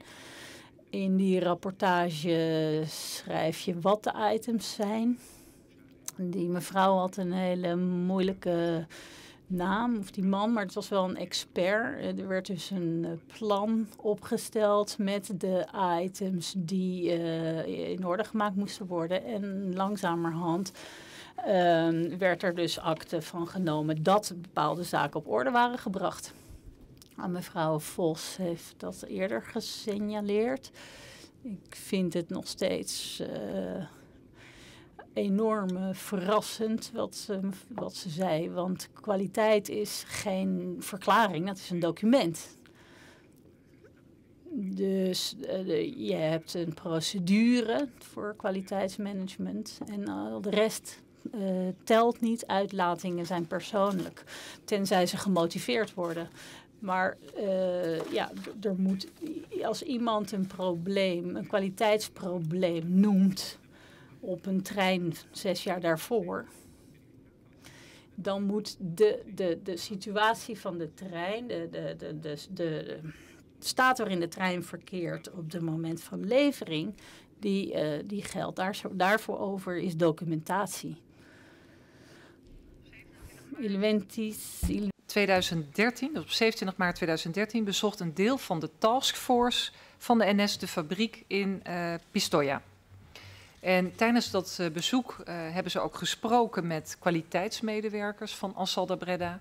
En die gaven aan dat hun opmerkingen, uh, hun kritiek, vaak niet werd opgepakt door de projectleiding en door de technici. Herkent u de kritiek van uw eigen mensen dat zij, als het ging over de, de Vira, vaak niet gehoord werden?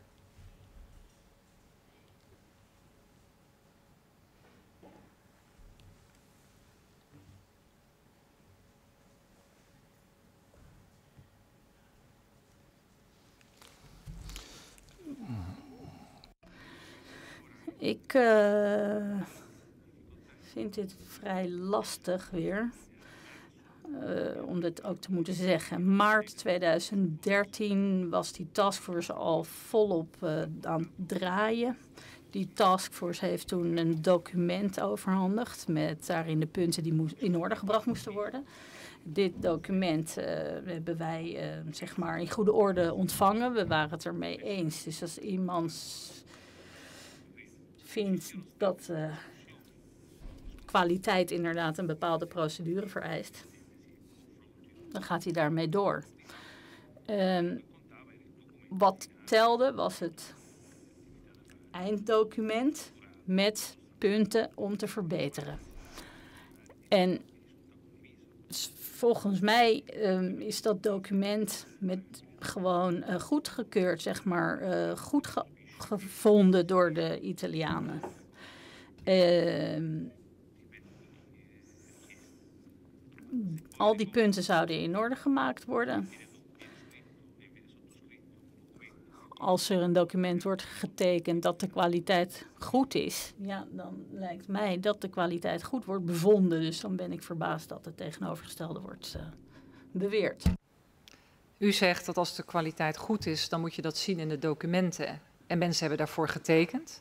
Maar herkent u nou helemaal niets over de kritiek die er was op de wijze waarop het kwaliteitsmanagementsysteem in de praktijk werd toegepast?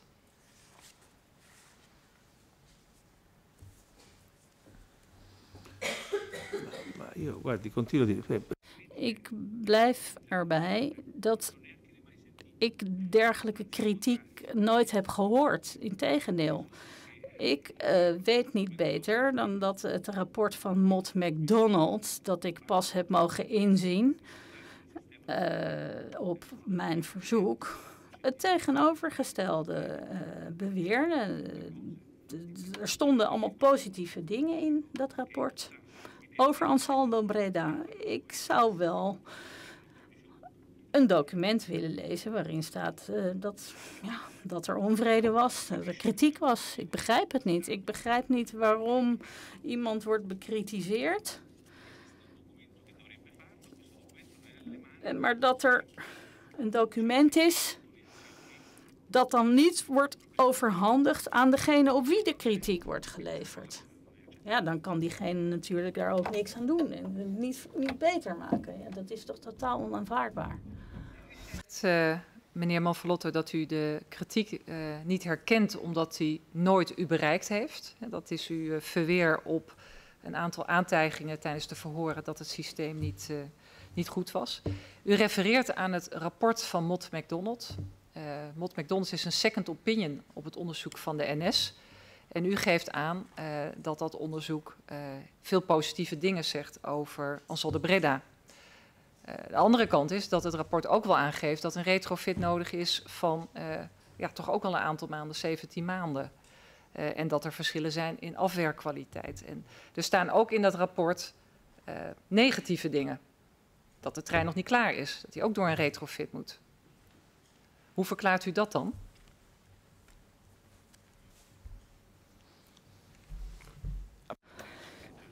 Ik wil dat rapport wel lezen, want dat heb ik niet. Dus ik wil wel de gelegenheid krijgen om te praten over fundamentele zaken. Ik heb uh, aan de rechter ook gevraagd om dat rapport te mogen inzien. Maar dat is dus, ik heb het niet mogen inzien. Ik heb het niet gekregen. Ik heb wel uh, meegewerkt met verzoeken van uh, Mond McDonald en de klant. Ik, ik zou wel precies willen weten wat erin staat. Uh, volgens mij kon die trein gewoon uh, rondrijden en waren er alleen kleine dingetjes aan te passen. Ik heb het rapport niet mogen krijgen en volgens mij is de reden daarvan heel duidelijk. Heel duidelijk en de mensen moeten het weten. Ik kan niet zeggen, ik heb, jij hebt mij schade toegebracht, maar ik zeg niet welke. Dat kan toch niet? Dat is toch absoluut onaanvaardbaar? niet heeft gekregen van Mott McDonald. U zei net wel te, in het verhoor dat u het heeft gelezen onlangs. Klopt dat? Nou. Nee, nee, ik heb op internet gelezen, want hè, op internet is een paar maanden geleden een deel verschenen. Ik weet niet of het klopt en ik vind het ook niet goed dat je dan maar enkele pagina's kan lezen. Ik heb niet alle pagina's kunnen lezen. Ik, ik ga uit van wat ik heb kunnen lezen op internet. Maar goed, er is iets op internet verschenen, maar ik heb het rapport niet mogen krijgen. Ja, begrijpt u dat ik wat achterdochtig word uh, als het gaat om de reden waarom ik zo'n rapport dan niet krijg? Ik uh, geef het woord aan uh, de heer Van Gerven. Verlotto, ik wil met u naar de persconferentie van de heer De Scheemaker, de hoogste baas van de Belgische spoorwegen. En op 31 mei geeft hij die uh, persconferentie en hij vertelt daar dat een uh, contract wordt opgezegd omdat de, de, treinen onbetrouwbaar zijn en veiligheidsrisico's hebben. Herkende u die kritiek?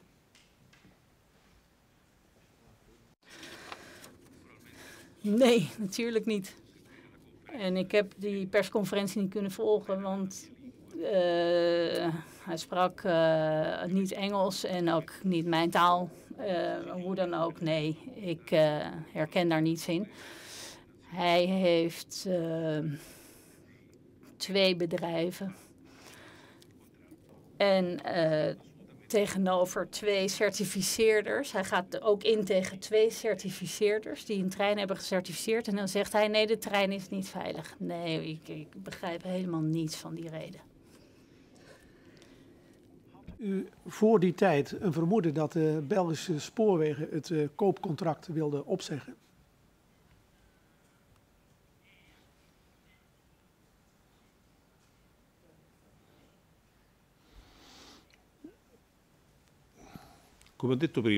Zoals ik al zei, heb ik nooit met deze man een gesprek gehad. Dus ik kon uh, bij helemaal niet voor mogelijk houden dat hij zich zo zou opstellen. Ik heb opgemaakt uit de anderhalf jaar dat ik met ze te maken heb gehad, de, Belgen en de Nederlanders uh, niet zo goed uh, met elkaar konden opschieten. Ik heb uh, bij een vergadering van de taskforce gezeten. Er was een vertegenwoordiger van de Belgische spoorwegen en die was heel vijandig. Een hele vijandige houding nam hij in tegenover Ansaldo Breda, maar ook tegen de NS. Uh, maar goed, toen kon ik niet bevroeden dat de schemaker het contract zou opzeggen. Ik vond het, ja, ik hield het ook niet voor mogelijk. Je kan toch niet een contract beëindigen, beëindigen kort nadat een trein gecertificeerd is en is toegelaten tot jouw uh, spoorwegnetwerk? Nee. Anderzijds, toen ik contact opnam met uh, NS, kreeg ik met niemand contact. Niemand uh, was bereikbaar. Ik kreeg continu voicemails die ik insprak en een week lang werd er niet op gereageerd. Ik kreeg donderdag pas, de week daarop, op donderdag kreeg ik pas voor het eerst contact met iemand bij de NS.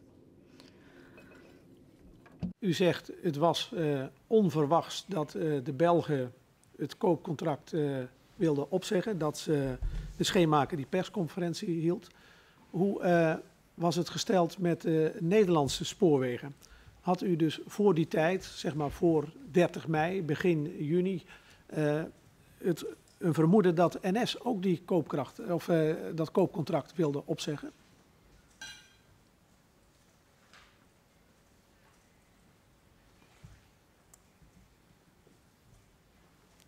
No, absoluut. Nee, absoluut niet.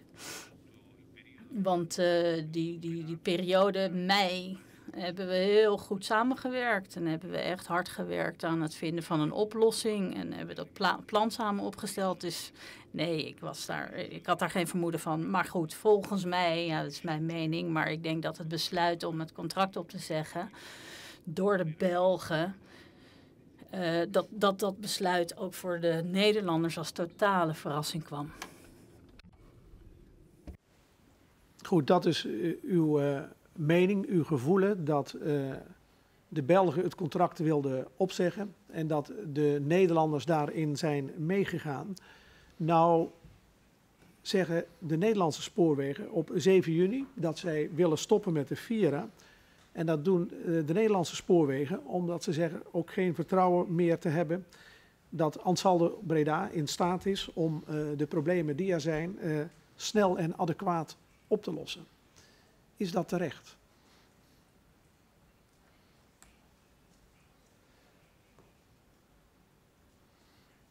Infatti, è corretto.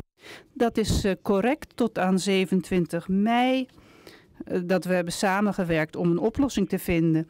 Waren we er zeker van dat, dat we door zouden gaan. En op 7 juni uh, is er een totale wisseling van de perspectieven geweest. Voor mij absoluut on. on daar kan ik geen uitleg voor vinden.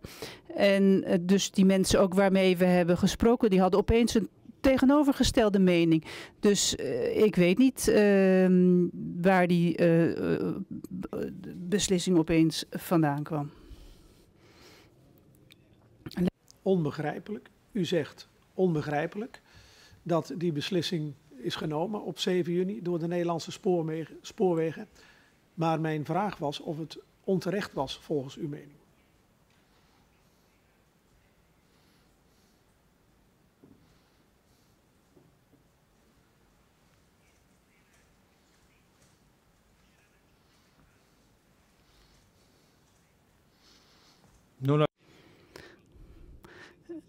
We hebben geen enkel, nooit het gevoel gehad tot, tot aan uh, het, het, moment dat we de, ons plan hebben aangepresenteerd. We hebben nooit ook maar even het idee gehad dat de Nederlanders van plan waren om het, uh, het contract op te zeggen. We waren daar heel erg verbaasd over dat na deze verklaring van de schemaker dat de NS helemaal niets heeft laten weten aan ons. En dat ze toen en opeens tot aan het moment dat ze het lieten weten dat ze ook van plan waren, of dat ze ook dus nu een andere mening toegedaan waren. Um, u, heeft zelf, u heeft zelf ook een persconferentie gegeven, uh, 6 juni 2013. En daarin zei u dat het besluit om te stoppen, dat dat uh, geen technische onderbouwing heeft. Wat bedoelde u met die opmerking?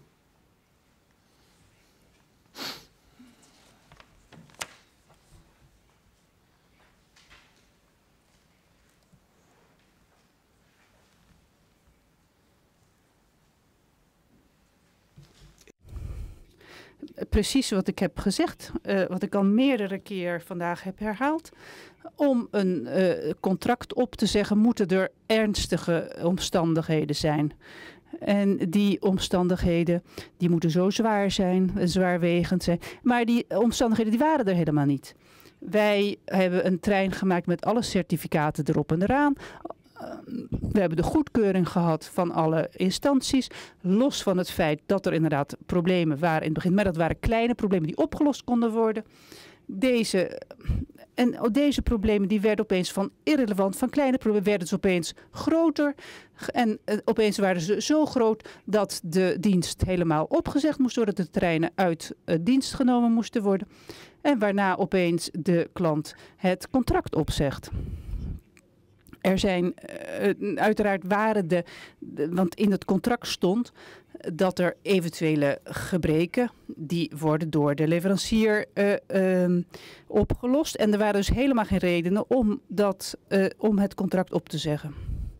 En het is tot op de dag van vandaag is dat, zijn die er nog steeds niet. En het is nog steeds niet helder waarom dat gebeurd is. En daarom dat wij natuurlijk ook uh, onze weg naar de rechtbank gevonden hebben.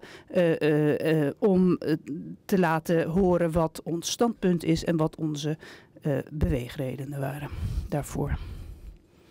Op de schikking en de gerechtelijke procedure komen we zo dadelijk te spreken toch nog één vraag aan u op het punt van het uh, uh, ja, stoppen met uh, het overnemen en het kopen van de treinen. U zegt het waren geen technische argumenten, geen technische redenen, want de technische problemen van de treinen waren eigenlijk klein en oplosbaar. Wat waren volgens u dan wel de redenen dat het koopcontract is opgezegd?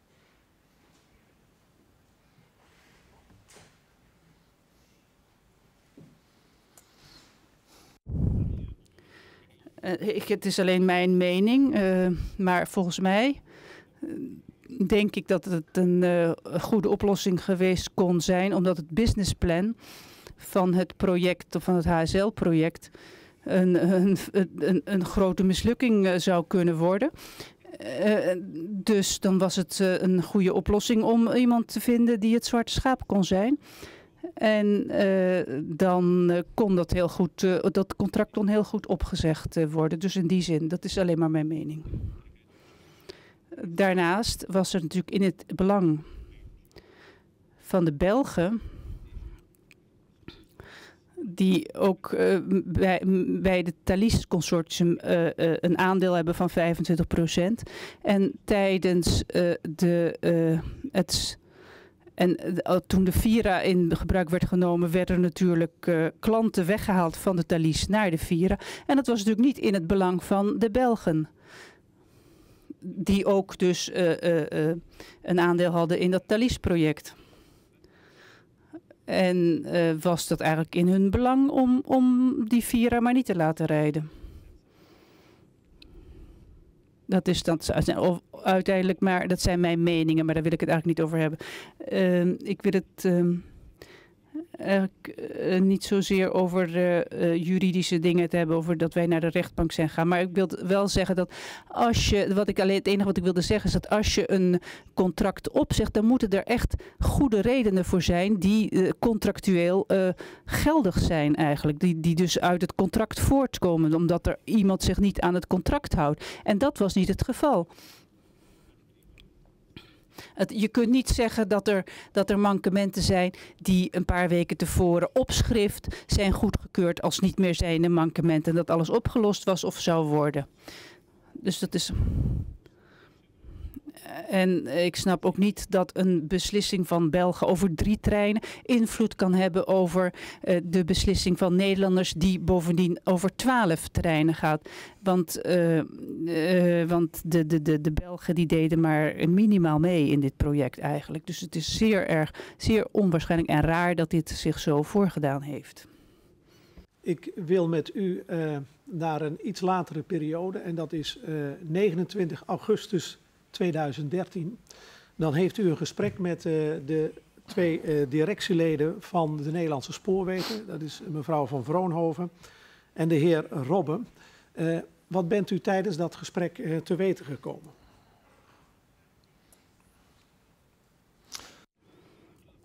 Ik begin bij het begin, bij eerder of iets eerder gezien de situatie heb ik uiteindelijk natuurlijk geprobeerd om een oplossing te vinden. En ik heb de, het management die eindelijk kwam, een, nieuw, een nieuwe management om een uh, oplossing te vinden. Om, om samen, ik heb dus gevraagd om hen te ontmoeten. En dat heb, ik, dat heb ik al heel lang tevoren gedaan. Dat heb ik al in juli ben ik daarmee begonnen. Er zijn uh, brieven heen en weer gegaan, telefoontjes. En toen was eindelijk het uh, moment om samen te komen zonder advocaten erbij. Om te kijken of we een, een compromis konden sluiten. Ik heb mijn voorstellen gedaan. En ik werd dus uitgenodigd op 29 augustus om hen te ontmoeten. Ik ben daarheen gegaan.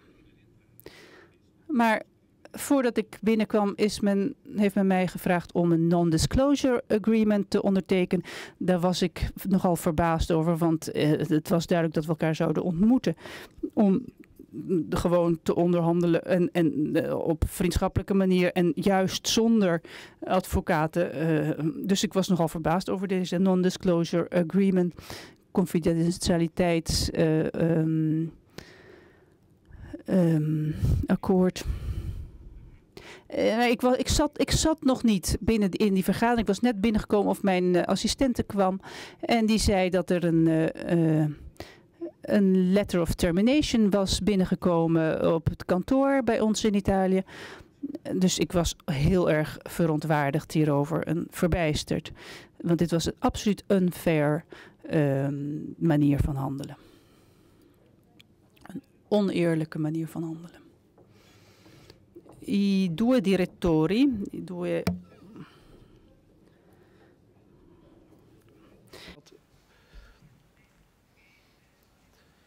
Dus dat uh, NS zeg maar, het koopcontract uh, wilde beëindigen. Hoe reageert u op uh, de boodschap van de beide directeuren?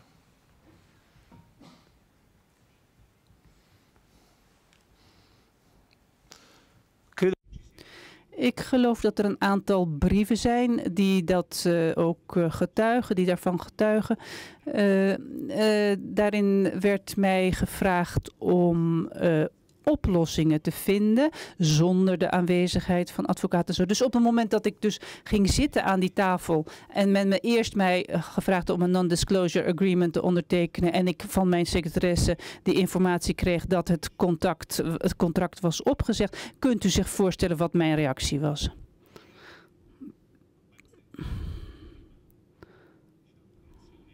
Uh, los van de eerste emotionele reactie, uh, dacht ik dat het geen enkele zin had om nog iets te zeggen. Want uh, ik heb me geconcentreerd om de juiste informatie te geven over de absoluut fatale gevolgen en, van deze absoluut onverantwoordelijke beslissing. En door, het is heel veel want u heeft eh, door deze beslissing is een heel uh, bedrijf uh, enorm risico van gelopen om, om helemaal opgedoekt te worden. Daar werken 2500 mensen. Alleen al de capaciteit om daar op een normale manier op te reageren uh, bedoel, wij hebben alles gedaan om, om, om, om uh, weer op de rails te komen.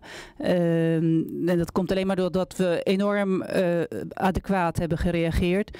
En nu zijn we er nog, maar, dat is, maar het is absoluut onduidelijk waarom de motivatie voor het opzeggen van het contract is totaal onduidelijk. Er is geen enkele duidelijke reden voor. Dus ik wil u vragen om heel gedetailleerd en goed naar dit aspect te kijken.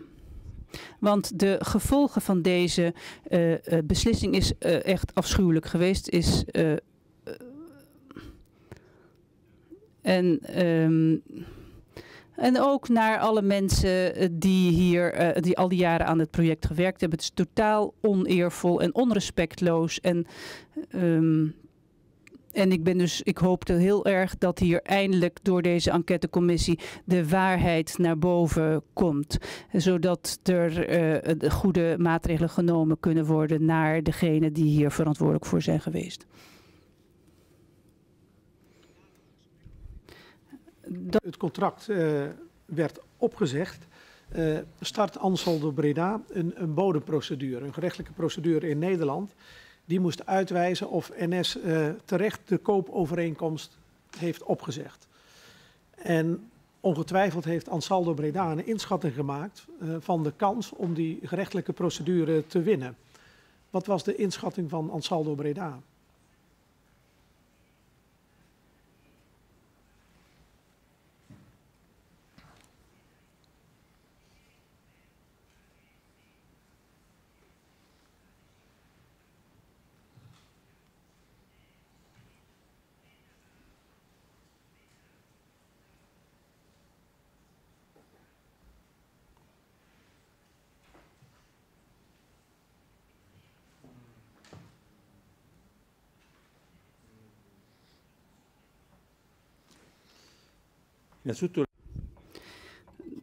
De uh, procedures die we hebben ingesteld, dat was er niet één, maar dat waren er meerdere.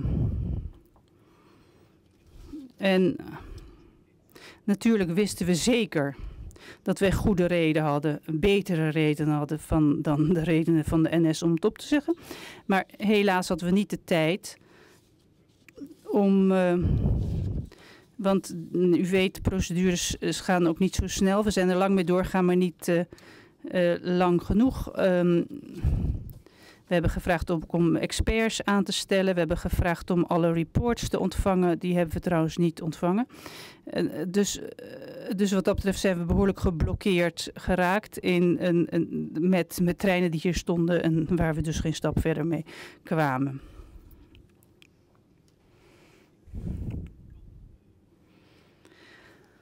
Dat u uh, zegt, nou ja, we hadden goed, goede hoop erop dat we de gerechtelijke procedure zouden kunnen winnen.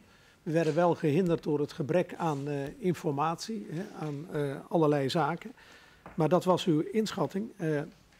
toch sluit u op 17 maart 2014 een, treft u een schikking dan NS, Ansaldo Breda en Finmechanica. En wat waren nu voor Ansaldo Breda en Finmechanica de redenen om tot een schikking over te gaan?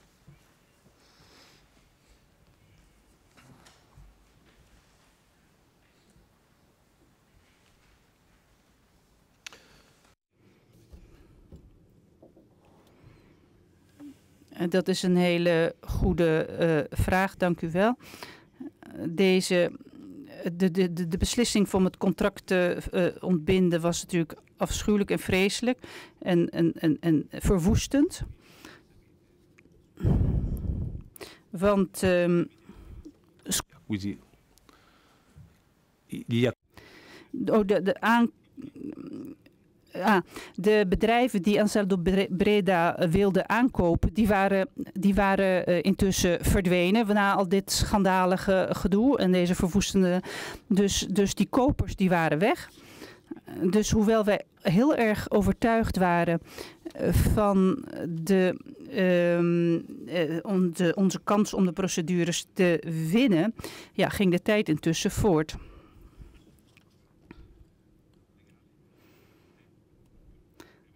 Uh, want die procedures die duren natuurlijk heel lang en eindeloos.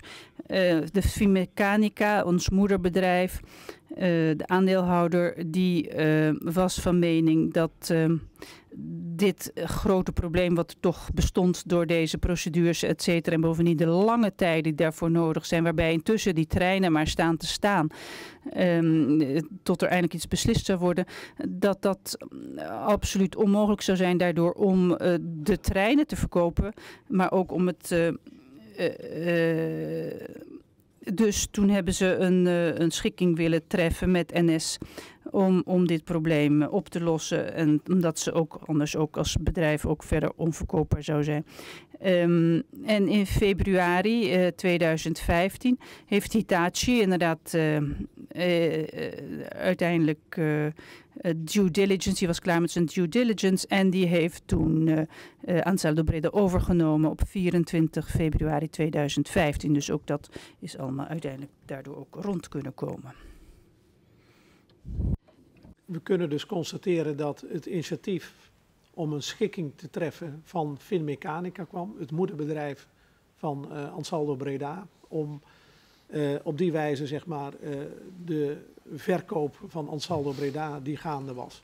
En het mogelijk verkopen van de treinen, om dat tot een goed einde te brengen.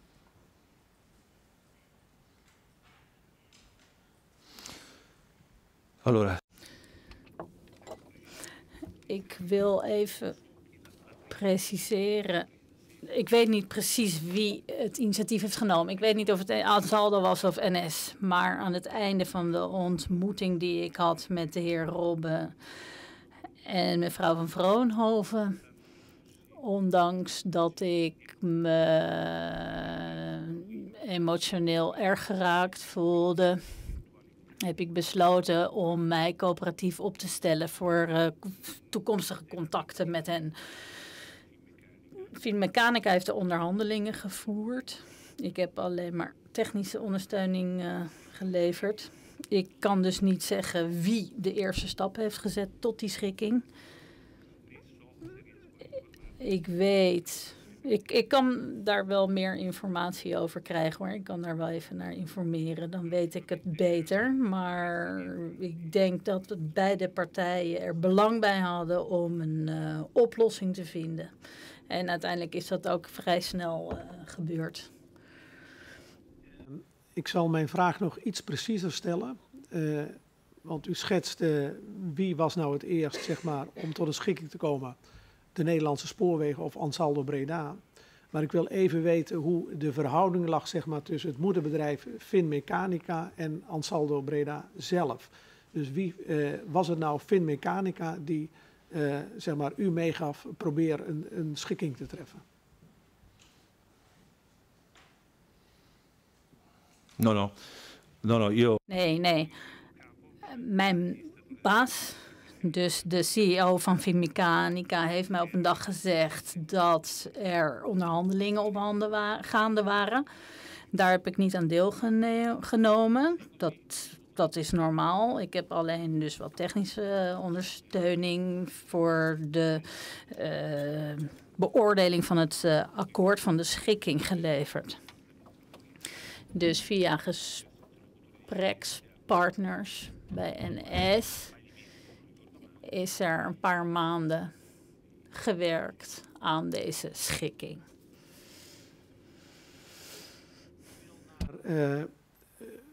Wat er gebeurt is zeg maar in zaken de schikking uh, met de Belgische spoorwegen. Want daar wordt op 5 mei 2014 ook een uh, schikking getroffen. En de Belgische spoorwegen hadden alle vooruitbetalingen die zij gedaan hadden, die hadden ze al eerder terug ontvangen. Maar nu moet Ansaldo Breda door de schikking nog een schadevergoeding betalen van 2,5 miljoen euro. NSFSC, zeg maar, de, de Nederlandse spoorwegen daarentegen, die kregen alleen maar een gedeelte terug van de gedane betalingen. Hoe komt het nu dat de Belgische spoorwegen nog geld toekregen, terwijl NS niet alles terugkreeg?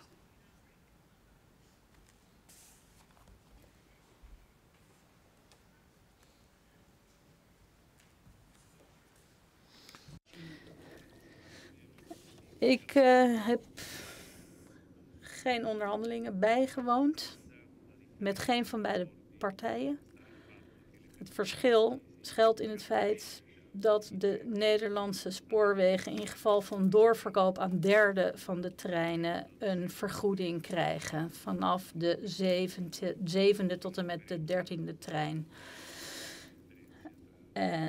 Dat is het verschil tussen de schikking met de Nederlanders en met de Belgen. Ik weet wel dat de schikking met de Belgen is gekomen na de schikking met de Nederlanders. Uh, is er nog een, uh, zeg maar een afspraak gemaakt toen de schikking met uh, de Nederlandse spoorwegen werd getroffen? Eh, hoe dat de schikking met de Belgen zou worden afgerond?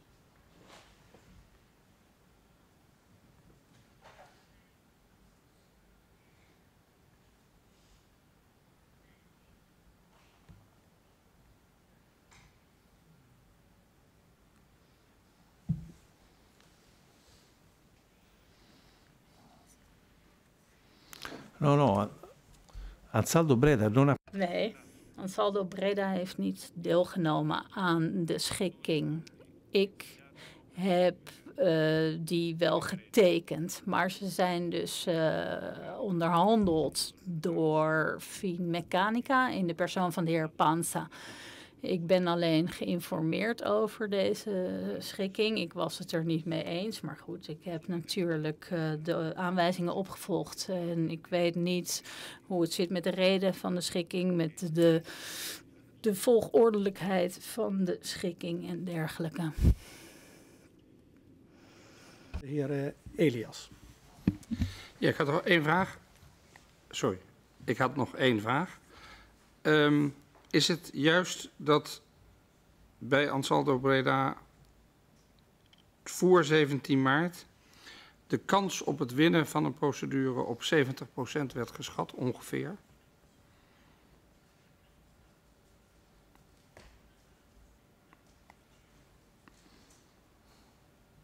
Jo, uh... Ik um, geloof dat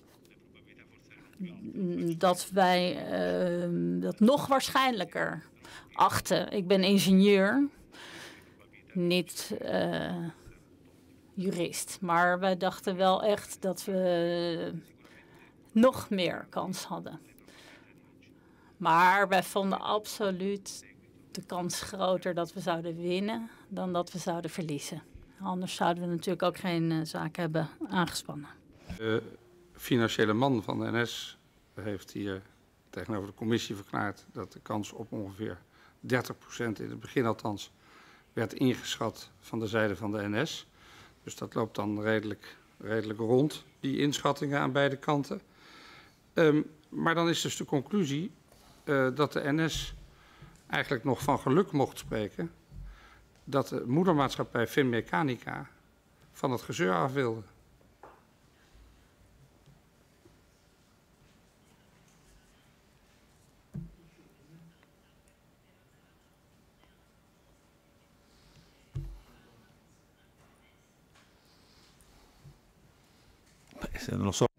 Ik weet niet wat de heer Rol bedenkt, maar ik ben verbaasd.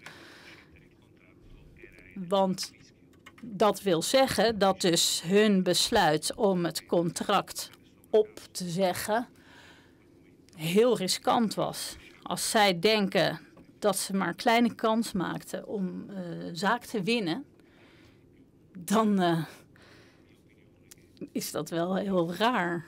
Dat ik, dat ik het ongelooflijk vind dat je dan als bedrijf zo'n risico neemt. Door een contract op te zeggen als je denkt dat je eigenlijk weinig kans maakt om een zaak te winnen. Dat doe je toch niet? Uh, zou zijn, dan heeft dus de NS inderdaad geluk gehad dat Finmechanica de zaak wilde afronden.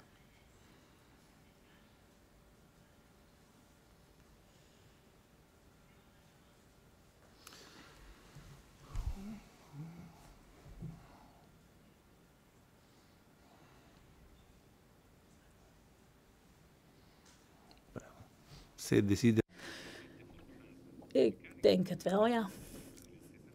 Finmechanica had eigenlijk ook geen andere keus. Want uh, dit geheel is rampzalig geweest voor 2500 mensen. U kunt zich wel voorstellen wat er is gebeurd. Als wij, uh, als wij dit bedrijf niet hadden kunnen verkopen. Maar goed, ik ben erg uh, verbaasd door de uit, uitlating van Rob die u zojuist heeft uh, aangehaald. Dat wist ik niet dat hij dat had gezegd. De voorzitter. Meneer Manflotto, we komen tot een afronding van dit verhoor. Wij hebben uh, van u begrepen dat u nog een lijst zou willen overhandigen. wat nou precies de openstaande punten was bij het voortijdig overnemen van de treinen. U zal ons een overzicht doen toekomen over de vertragingen. Uw uh, bijstand schrijft hevig mee, zien wij. Twee punten willen we nog even adresseren.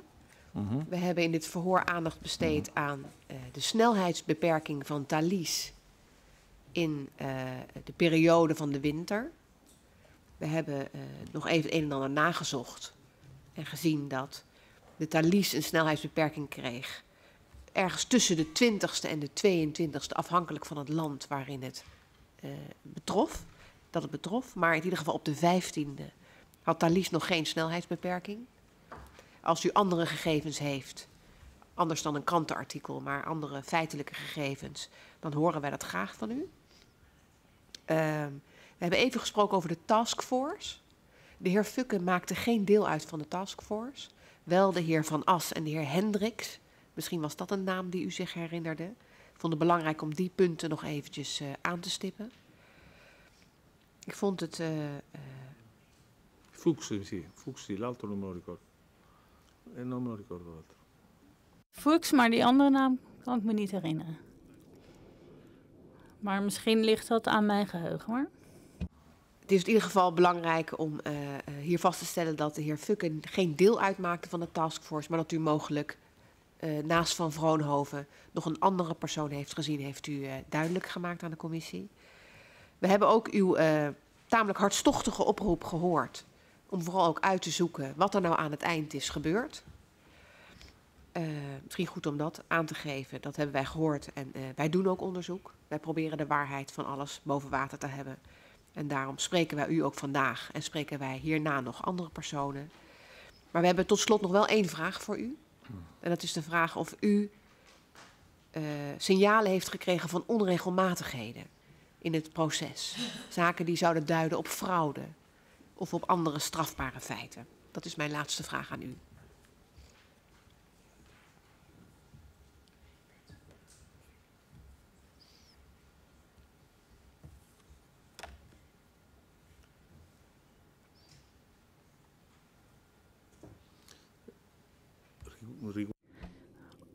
Over het hele proces? Of aangaande de aspecten met betrekking tot de relatie met Ansaldo Breda? Of over het hele proces? Wij hebben een, uh, uh, een slotvraag aan iedereen.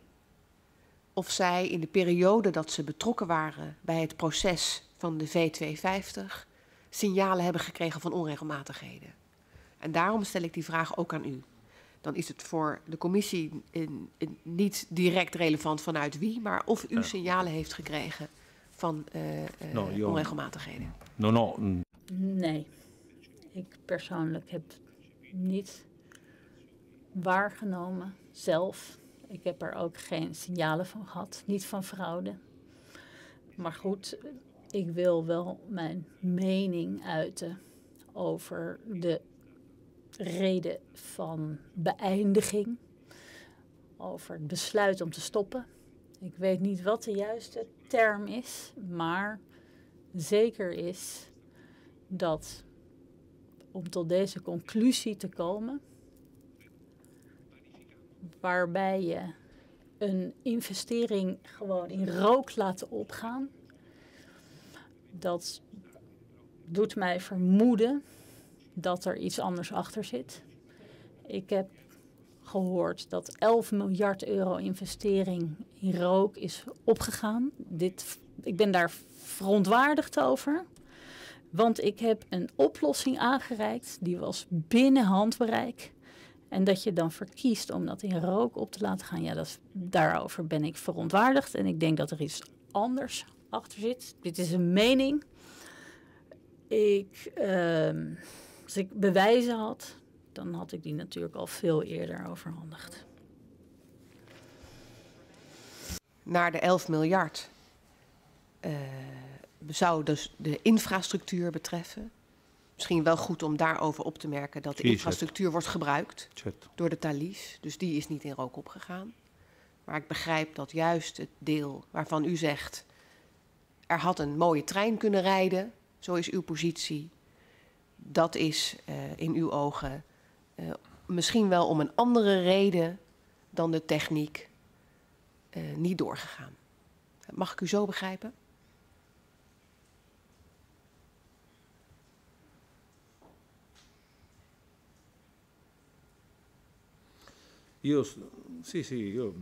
Ja. Ik wil nog één belangrijk aspect onderstrepen. Mijn mening. De Italiaanse spoorwegen, maar ook een heleboel andere, zijn uh, verliesleidende bedrijven.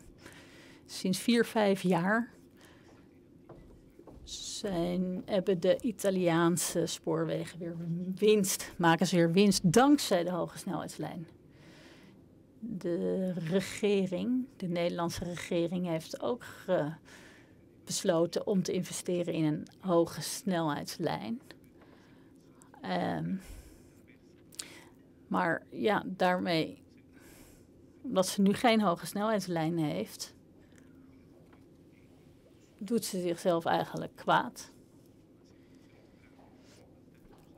dit land ligt zo, is zo geografisch goed gepositioneerd. Biedt heel veel mogelijkheden. Wij, Nederland ligt in het centrum van Europa. En kan dus een heleboel goede verbindingen realiseren. Met interoperabiliteitsconcepten had Nederland uh, het zakenleven een enorme impuls kunnen geven. Met uh, HSL. Wij zijn ervan overtuigd dat de hoge snelheid de toekomst heeft in Europa en een heel belangrijke bijdrage levert aan de economie.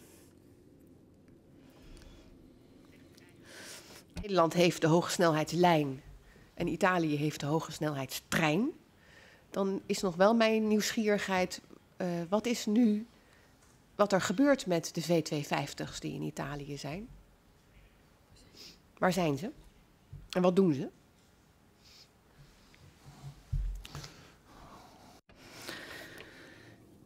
Misschien uh, provoceer ik nu iets, maar vindt u het goed? Staat u mij dat toe? De treinen bevinden zich in de buurt van onze vestiging in Pistoia, bij Florence in de buurt. Ze staan uh, daar in de opslag. We willen ze verkopen. Ze worden onderhouden ondertussen. We zijn aan het nagaan wat, uh, hè, waar we de treinen kunnen verkopen. Maar ja, goed, er zijn nu wat commerciële belangen die op het stel staan. Dus daar kan ik niks over zeggen, want ik praat nu in het openbaar. Hoe dan ook, uh, de treinen kunnen weer op de rails gezet worden. Want ze voldoen aan alle eisen. En um, dan zou u ook nog wat kunnen halen uit de investering die u reeds heeft gedaan.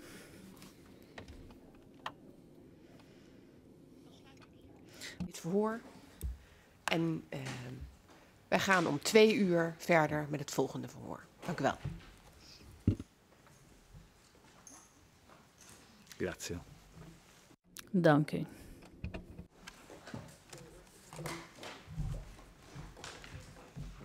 Alemania.